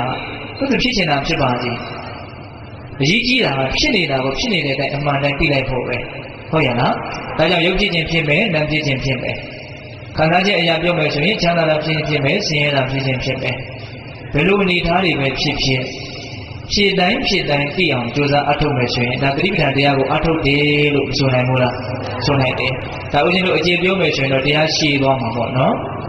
ယုတ်ကာယတွေကိုဖြစ်တိုင်းသိမယ်ကာယ ानु ပဒနာသတိပဋ္ဌာန်ခံစားချက်ဝေဒနာတွေဖြစ်တိုင်းသိမယ်ဝေဒနာ ानु ပဒနာသတိပဋ္ဌာန်စိတ်တွေဖြစ်တိုင်းသိမယ်စိတ်ဓာ ानु ပဒနာသတိပဋ္ဌာန်ဓမ္မသဘာဝတွေဖြစ်တိုင်းသိမယ်ဓမ္မ ानु ပဒနာသတိပဋ္ဌာန်အနည်းချုပ်ရပြောရရင်တော့သတိပဋ္ဌာန်တရား၄ပါးဆိုတာ ကိုယ်ခန္ဓာရဲ့အကြောင်းကိုကိုယ်ကိုယ်တိုင်အမှန်တိုင်းသိအောင်ကြိုးစားအထောက်တာဒါကြောင့်ရှိသူတော်ကောင်းကြီးတွေကတရားရှာကိုမှတွေးရဆိုတာဒါကိုပြောတာပါဟုတ်ရဲ့လားဒီမှာခန္ဓာမှာဖြစ်နေတဲ့သဘာဝတရားကိုဖြစ်တိုင်းသာသိအောင်ကြိုးစားအထောက်မယ်ဆိုလို့ရှိရင်ဒီဖြစ်ပေါ်လာတဲ့သဘာဝတရားတွေဟာကောင်းတာပဲဖြစ်ဖြစ်ဆိုးတာပဲဖြစ်ဖြစ်စိတ်တိုင်းကြတာပဲဖြစ်ဖြစ်စိတ်တိုင်းမကြတာပဲဖြစ်ဖြစ်ဘာပဲဖြစ်ဖြစ်အသေးချာဖြစ်သွားတာကတော့ဖြစ်ပြီးတဲ့နောက်ပျက်စီးချုပ်ပြောက်သွားတယ်ဆိုတဲ့အချက်ဟုတ်တယ်မဟုတ်လား မငင်းနိုင်ဘူးနော်ဒီကိစ္စမိုက်ကြအေးဖြစ်တိုင်းဖြစ်တိုင်းသိမယ်ဆိုရင်အဲ့ဒီဖြစ်ပြီးတဲ့နောက်ပျက်စီးချုပ်ပြောက်သွားတယ်ဆိုတဲ့ဒီမမြင်ခြင်းသဘောဝကိုဒါသိလာမယ်မြင်လာမယ်ပေါ့ဟုတ်လားမမြင်တာကိုသိလာမယ်ပေါ့မမြင်တာကိုအသိအမြင်များလာတာနဲ့အမျှဟောဘဝမှာဘာတွေပဲဖြစ်ဖြစ်တည်မြဲတယ်ဆိုတာတခုမှမရှိဘူးဆိုတာကိုနားလည်တဲ့အတွက်ကြောင့်ဘဝရဲ့ဖြစ်ချင်းဆိုတာတကယ်တမ်းကတော့အကောင်းမဟုတ်ဘူးဆိုတဲ့ဒုက္ခသဘောကိုတဖြည်းဖြည်းနဲ့သူသဘောပေါက်လာမယ်ပေါ့ဟုတ်လား ဒါကြောင့်မိသားပေါင်းတရားပေါင်းတို့ခန္ဓာဟာဒုက္ခလို့သိကျင်တယ်ဆိုလို့ရှိရင်တတိထားပြီးတော့သူ့ကိုအာယုံဆိုင်ပြီးတော့ဂယုဆိုင်ပြီးတော့ဖြစ်တိုင်းသိအောင်ကြိုးစားအထောက်ဖို့လိုတယ်ဟုတ်လားအဲသူ့ကိုကိုကဟိုကြည့်မယ်ဆိုရင်ဒါမြင်မှာပါပဲဟုတ်လား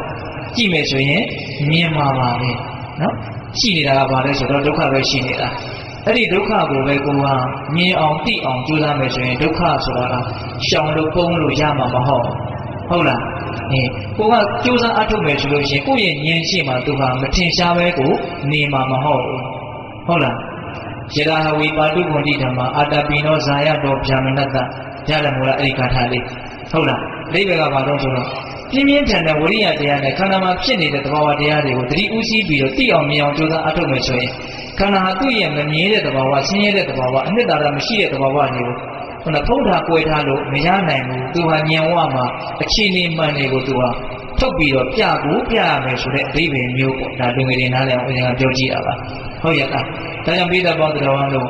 တရားရှာဘယ်မှာတွေ့လဲခန္ဓာမှာတွေ့တယ်ကိုယ်ခန္ဓာမှာဖြစ်နေတဲ့သဘောဝတွေကိုလည်းအမှန်တည်းသိအောင်ကြိုးစားအထောက်လိုက်မိဖို့လိုတယ်ပေါ့အရေးကြီးတဲ့အရေးအသွေးကတော့ဘာလဲလို့မေးရင်တတိဝရိယဟုတ်လားတတိရှိရမယ်ဝ ဇွဲရှိရမယ်ဟုတ်လားနောက်ပြီးတော့ဘာလို့ဆိုတော့ပညာတရားဒီသုံးလုံးပေါ့နော်အေးဒါကြောင့်ပိဋကပေါင်းသူတော်ကောင်းတို့အဲ့ဒါလို့တတိတရားလက်ကင်ထားပြီးတော့ခန္ဓာရဲ့အခြေအနေမှန်ကိုသိအောင်မြင်အောင်ကြိုးစားအထောက်မဲ့ဆိုရင်ဘောဟာဆင်းရဲပဲလို့ဒုက္ခသစ္စာကိုသိလာကြအကြောင်းမရှိဘူးလားရှိတယ်အဲ့လိုကြိုးစားအထောက်ရင်းနဲ့ဩလိုချင်မှုရချင်မှုဖြစ်ချင်မှုဆိုတဲ့လောဘဟာဒုက္ခတွေကိုဖန်တီးနေတဲ့အရာပါလားလို့နားလည်ပြီးတော့ လောဘဟာတပြေးပြေးနဲ့ပါလျက်သွားတဲ့အနေအထားကိုမရောက်နိုင်ဘူးလားရောက်နိုင်တယ်သင်္ကုရိယသစ္စာကိုအကြောင်းအားလျော်ဆိုတော့ပင်နိုင်တဲ့အနေအထားကိုမရောက်ပြီဘူးလားရောက်နေပေါ့ဟောဒုက္ခကိုဒုက္ခမသိရင်ဒုက္ခကိုလိုချင်တယ်ဆိုတာဖြစ်เสียအကြောင်းကတော့တကယ်တော့လည်းမရှိပါဘူးဟုတ်ရဲ့လားဒါကြောင့်ဒုက္ခကိုဒုက္ခလို့သိချင်းသိမယ်နဲ့သမှုရိယသစ္စာကိုပယ်ခြင်းကိစ္စပြီးကြီးသွားတယ်လို့ဆိုနိုင်မို့လားဆိုနိုင်တယ်နော်အေးသမှုရိယသစ္စာကိုပယ်နိုင်ရင်ပယ်နိုင်တာနဲ့အမျှ ထိုလောဘကြောင့်ဖြစ်ပေါ်လာမဲ့ဆင်းရဲခြင်းပူလောင်ခြင်းတွေဟာလည်းညှော်နေသွားတဲ့အကြောင်းမရှိဘူးလားဟောဒါလေးပါချမ်းသာကိုဘုံမျက်မှောက်ပြုရတယ်ဆိုတဲ့အဓိပ္ပာယ်လေးနဲ့ရှင်းတွဲပြီးတော့စဉ်းစားကြရအကြောင်းပေါ့ဟုတ်လားအေးအဲ့ဒီလိုဒုက္ခကိုဒုက္ခပဲလို့သိနေခြင်းဒီဝင်နေရင်တော့အမှန်ကိုသိတဲ့အတွက်ကြောင့်ဒါတမာဒိဋ္ဌိကောင်းဆောင်တဲ့မဂ္ဂင်၈ပါးကိုပွားများနေတယ်လို့ဆိုနိုင်မို့လားဆိုနိုင်တယ်။ဒါကြောင့်ပိဋကပေါင်းသူတော်ကောင်းတို့ သတိပဋ္ဌာန်တရားကိုပွားများခြင်းဒီပင်နဲ့သစ္စာလေးပါးကိုထုတ်ထွင်းပြီးတော့တည်ခြင်းရဲ့အကြောင်းတရားဖြစ်တယ်ဆိုတာကိုနားလည်ပြီးတော့သတိပဋ္ဌာန်တရားကိုကြိုးစားပြီးတော့ပွားများကြရမယ်အထုကြရမယ်ပေါ့ဟုတ်လားဒါဆိုလို့ရှိရင်အလွန်တရာမှသိရင်ကျေစုများတယ်မသိရင်ဒုက္ခများမယ်ဒီသစ္စာလေးပါးကိုသိပြီးတော့လွန်တရားမှချမ်းသာတဲ့နိဗ္ဗာန်ချမ်းသာကိုမျက်မှောက်ပြုရတဲ့အရှင်ကိုရောက်နိုင်တယ်ပေါ့ဟုတ်ရဲ့လားဒါကြောင့်ပြီးတော့တော်တော်တို့ သစ္စာသိပါဆိုတာဒီအကြောင်းအရာတွေကိုကြည်ရွယ်ပြီးတော့ဒါတရားကောင်းစဉ်ပေးလိုက်တာပါနော်။ဒါဒီကနေ့ညဦးဇင်းတို့ဘယ်နှပိုင်းပြောလိုက်တော့များနှစ်ပိုင်းပြောလိုက်တယ်နော်။မေတ္တာရှိ၍သစ္စာသိပါတဲ့ဟုတ်လား။မေတ္တာတရားရှိအောင်ကြိုးစားရတယ်။တတ္တဝါတွေရဲ့ပုံမှာကောင်းကျိုးချမ်းသာရသည်ခြင်းနဲ့ဖြစ်စီခြင်းနဲ့စိတ်ကောင်းစိတ်မြတ်ကလေးမိမိတဏ္ဍာမှာမကြာခဏဖြစ်အောင်မေတ္တာစိတ်ကလေးရှိနေအောင်ကြိုးစားအထောက်ရတယ်ဟုတ်လား။ ဒီအဲ့ဒါဆိုရင်မေတ္တာနဲ့ပတ်သက်တဲ့အကျိုးကျေးဇူးတွေမိမိတို့ခံစားရမယ်ပေါ့နော်ဒီဒါတွေမကဘူးသစ္စာဘာလို့ရမလို့သိရမယ်သစ္စာသိမယ်ဆိုရင်တော့ဘယ်လိုဘောဓသိမြမကမဲနဲ့ပဋိဝေဒစိုက်အောင်များသိခဲ့မယ်ဆိုရင်တော့ဘယ်လိုတရားကြီးကျယ်တဲ့အကျိုးကျေးဇူးရပြီးတော့ဒုက္ခကသိချုပ်ငြိမ်းပြီးတော့တော့ဘုရားရဟန္တာတွေဟာသူတော်ကောင်းကြီးတွေမြတ်နိုးတဲ့နိဗ္ဗာန်ချမ်းသာကိုမျက်မှောက်ပြုရသည့်အထိအစဉ်အတန်းမြင့်မသွားနိုင်ဘူးလားမြင့်သွားနိုင်တယ်ဒါကြောင့်ပိဋကပေါင်းသူတော်ကောင်းတို့ဝိတ္တာရှိအောင်လည်းကြိုးစားနိုင်ကြပါစေ သစ္စာသိအောင်လည်းပဲသတိပဋ္ဌာန်တရားကိုအထုတ်ပြီးတော့ကြိုးစားနိုင်ကြပါစေလို့ဦးဇင်းတို့ဆန္ဒပြုပြီးတော့နော်မေတ္တာရှိ၍သစ္စာသိပါဆိုတဲ့တရားစကားကိုမေတ္တာပို့ပြီးတော့ပဲအဆုံးသတ်ကြရအောင်ဗျာနော်ဘဝတုတဝမင်္ဂလာရက္ခဏုတဝဒေဝတာတဝဗုဒ္ဓနုဝဝေနတရာဒုက္ခိဝန္တုတိဘဝတုတဝမင်္ဂလာရက္ခဏုတဝဒေဝတာသဗ္ဗဓမ္မနုဝဝေနတရာဒုက္ခိဝန္တုတိ ဘဝတုတဝမင်္ဂလာရက္ခဏုသဗ္ဗဒေဝတာသဗ္ဗဓမ္မနုဝဝေနတရာဒုက္ခိဝန္တုတိတေတုမကတေတရားနာပိတ္တပေါင်းတော်အောင်လို့ဇာတာအာလုံးသောတတ္တဝနန္တတို့အားသဗ္ဗမင်္ဂလာလောကီလောကတရာကောင်းဆိုလည်းမြတ်မင်္ဂလာဝဝတိဘဝတုကောင်းစွာမဖြစ်ဖြစ်တော်မူကြပါစေတည်းသဗ္ဗတိဝတ္တမိမိတို့ခန္ဓာကိုယ်မှာစောင့်ကြနေကြကုန်သောနတ် မိမိတို့အိမ်မှာစောင့်ကြနေကြကုန်သောနတ်မိမိတို့တာနာမိမိတို့ဘဝမှာစောင့်ကြစောင့်ကြနေကြကုန်သောဓမ္မနဲ့ကောင်းတာပေါင်းတို့ကလည်းပဲသက္ကံတို့ကောင်းစွာမဖြစ်ဆောင်ရှောက်တော်မူနိုင်ကြပါစေတည်းသဗ္ဗဝရဏုဘဝေန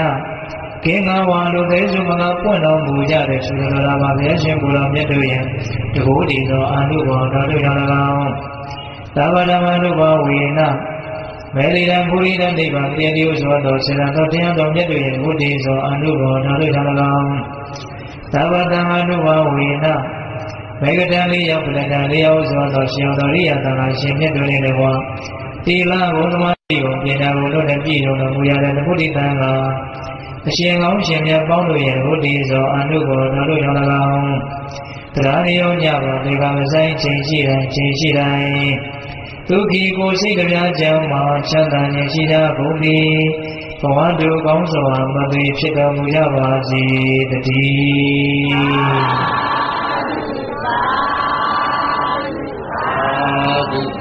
啊。